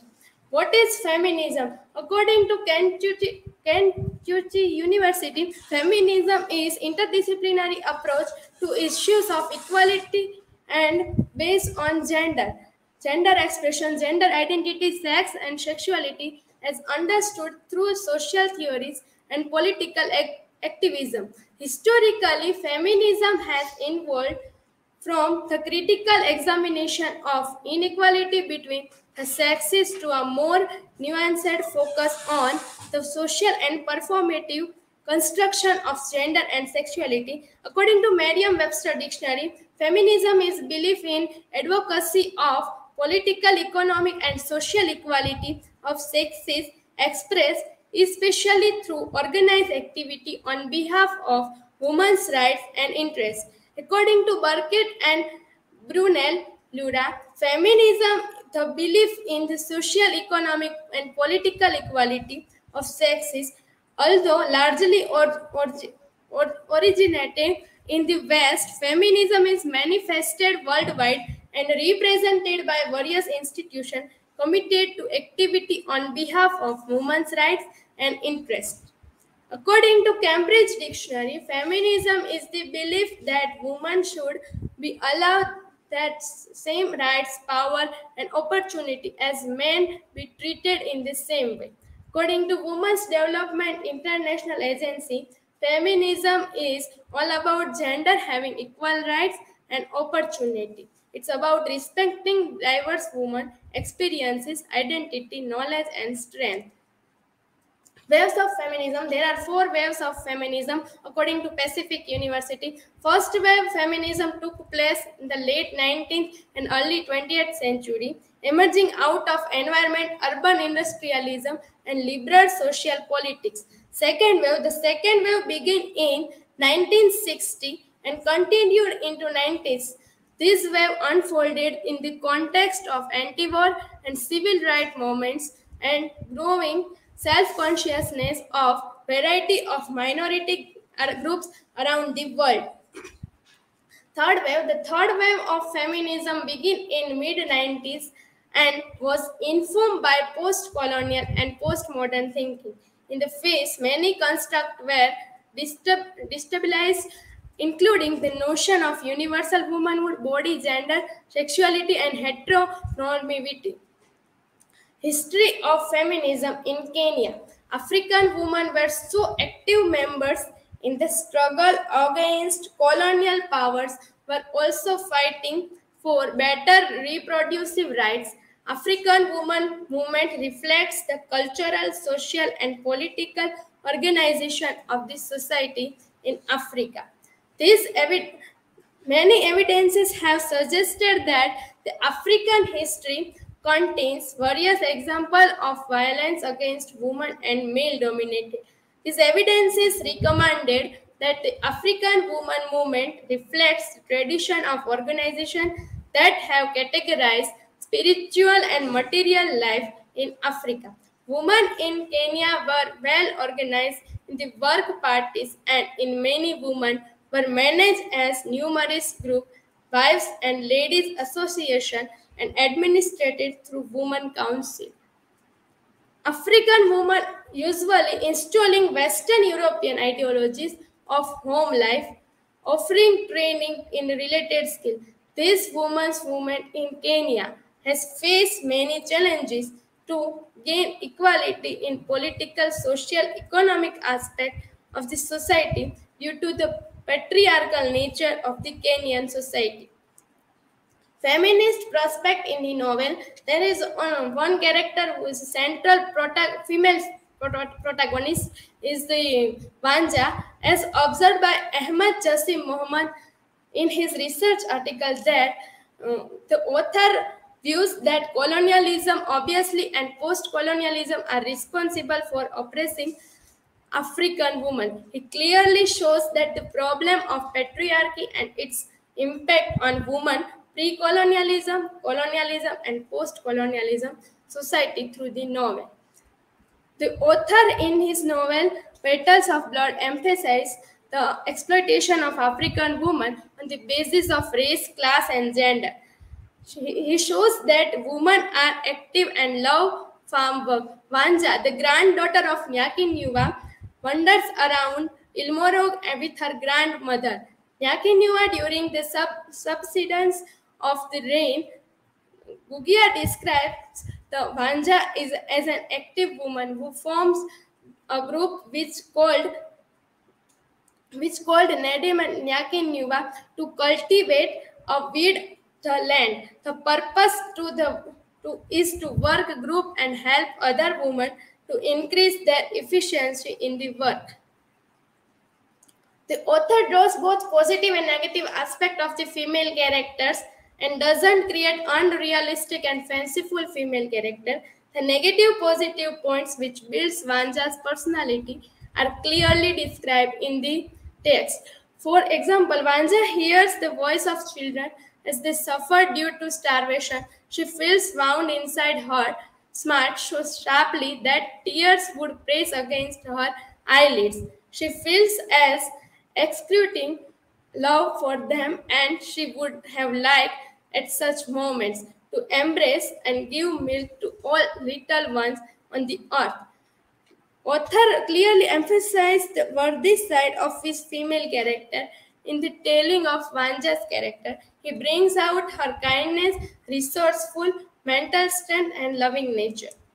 Conclusion Through the reading of the novel, it can be observed that the fact woman can be mother, politician, socialist, and educator provider of family at the same time. Women like Nyakin Numa and Wanja struggle hard against colonialism and they strongly desire to curb oppression and exploitation of Kenyan society. The novel presents feminist critique of the gender inequality that is perceived in Kenyan society.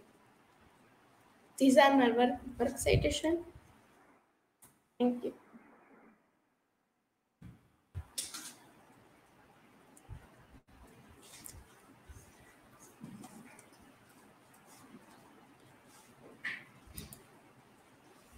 So my question is how Wanja differs from other African Yes, women?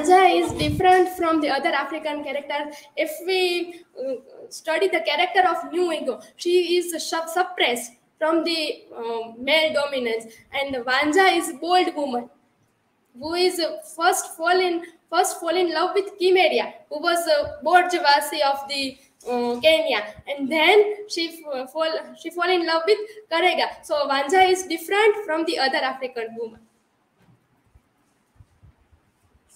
She is not suppressed by anyone.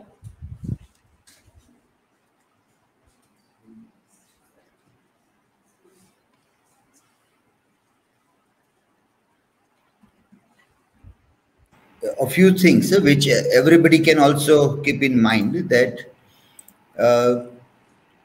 she has uh, referred in her slides that according to Pacific University, Yes, you Yes. referred to uh, this. According to Pacific University, Oregon, there are four waves of feminism, Feminism, that you said. There are lots of uh, capitalization problem in that sentence also. Yes. University P U O should be capitalized. But when you see that website, eh, when I check that website, uh, let me uh, share that screen.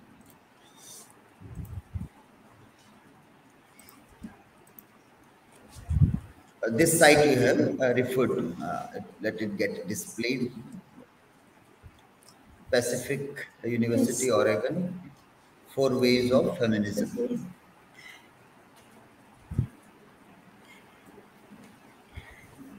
Sir, when I was searching for feminist perspective in this novel, there is a multi three sides are there, but this article is same Hmm. by same uh, research scholar. Who, who,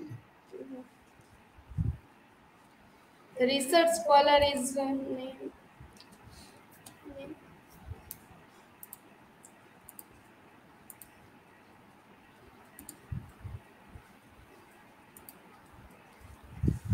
Ahmad Jasim. hmm.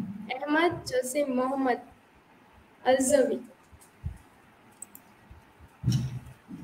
the same article is on Yes. Pacific University site also? No, no, not Pacific side of then? In a feminist perspective of perspective of the novel. In the novel. No, but this website you have, Yes, sir, I have cited this website. huh, so, University. hmm. So then that, that article is not very important, Ahmed Jasim Muhammad's article. So how will you evaluate? Whose is better? Yes. How will you do? What is your parameter? That is a part of research methodology. That you have five sources. Now, which is qualitative? Ahmed Jasim's, or here you get this.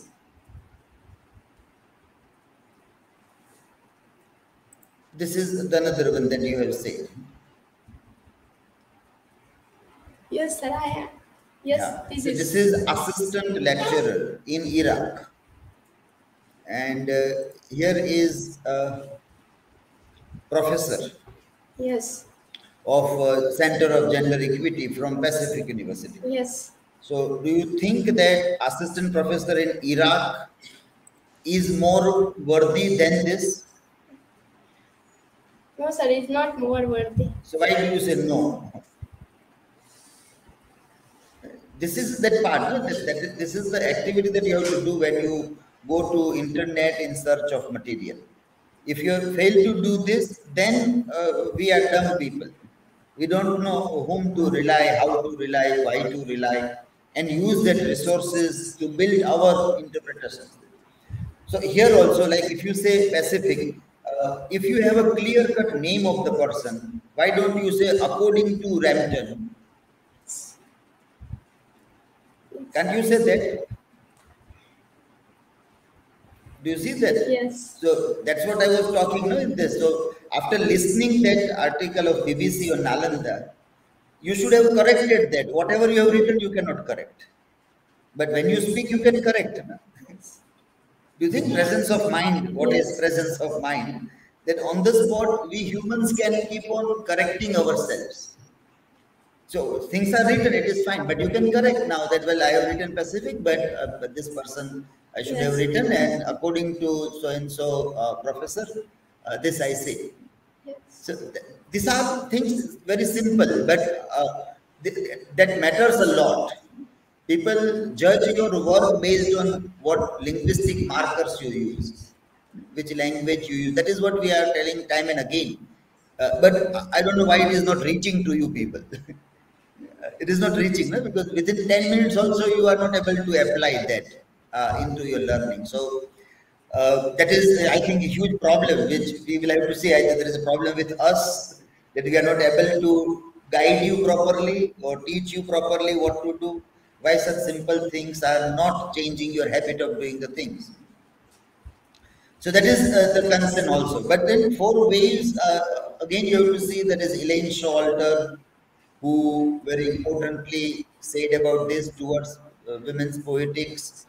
So that also, I don't know why you are not able to reach to when you talk about waves. This, uh, that is the original source which people uh, refer to.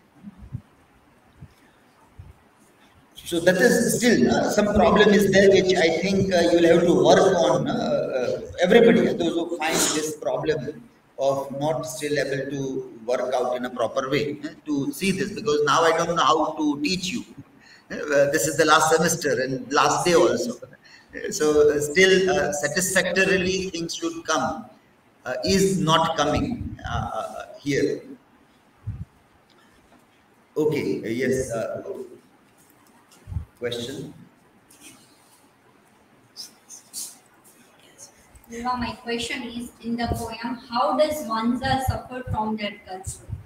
Yes, Wanja is suffer from her culture because the uh, Kenya was colonized country, and in the colonized country there is uh, no rights for women. But uh, as Wanja is different from the other, African woman. So she she is uh, not much suffered from his her culture.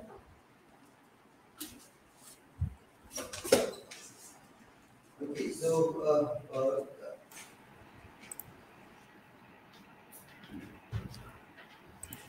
Okay, so with this last one morning session, your presentation things are ending uh, with this.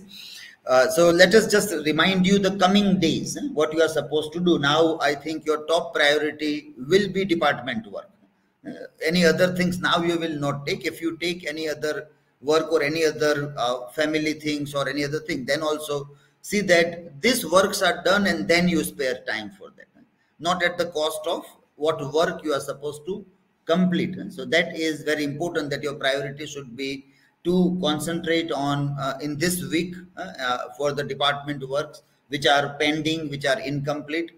So let me share this screen and we'll record this also so you can get a reminder and later on also you can uh, see uh, if you want to uh, watch this part in case you forget the things so according to our schedule that we have planned uh, what we are supposed to do. Last month we shared the schedule uh, with everybody. Uh, in that, uh, earlier you were working on your dissertation chapters uh, from February 16 to 28, and then you submitted one draft of that. Then you prepared a seminar paper, national level seminar, and that also you have presented uh, on 5th of March. That work is done uh, let it get displayed here so we can see here also. Uh, and then uh, we had this three days of our presentations on 7th, 9th, and 10th. Okay, so that also we have reached today, the 10th of uh, March uh, uh, for the last presentation on African literature. Now, 10 to 16. Now, your next important task, which will assemble here, will be on 16th. Uh, 16th, we will have digital portfolio demonstration. So where you will be demonstrating your digital portfolio to semester uh, two students, the way you were demonstrated by the senior students. So uh, that will be in your memory and that is what you have to do on that day. So that will be, uh, so coming days, in case anything is pending uh, in digital portfolio, then that you have to complete that complete everything that is there you are suggested in various meetings also. Uh, so i don't think you require anything to be told. In case there is any doubt you can ask that what you have to do if things are not clear don't hesitate to ask uh, what you have to do in digital portfolio demonstration. So that will be on 16th so that work you have to do. Then 18th we have annual day an annual day is also organized by uh, semester four students. You are organizing that. So several things are to be done. Very importantly, uh, committee leaders uh, uh, uh presentations will be there. Various committees we have and whatever work is done, not done, uh, photographs, charts, whatever is required for your presentation that you have to present. So that work also the leaders will have to uh, during these days and keep your slides ready. You may have to collect several data from semester two students also. So then they will be coming from 11 to uh, 15 uh, in the coming days. Their presentations will begin from tomorrow, from 11 to 15. Here uh, is the schedule of uh, that class also.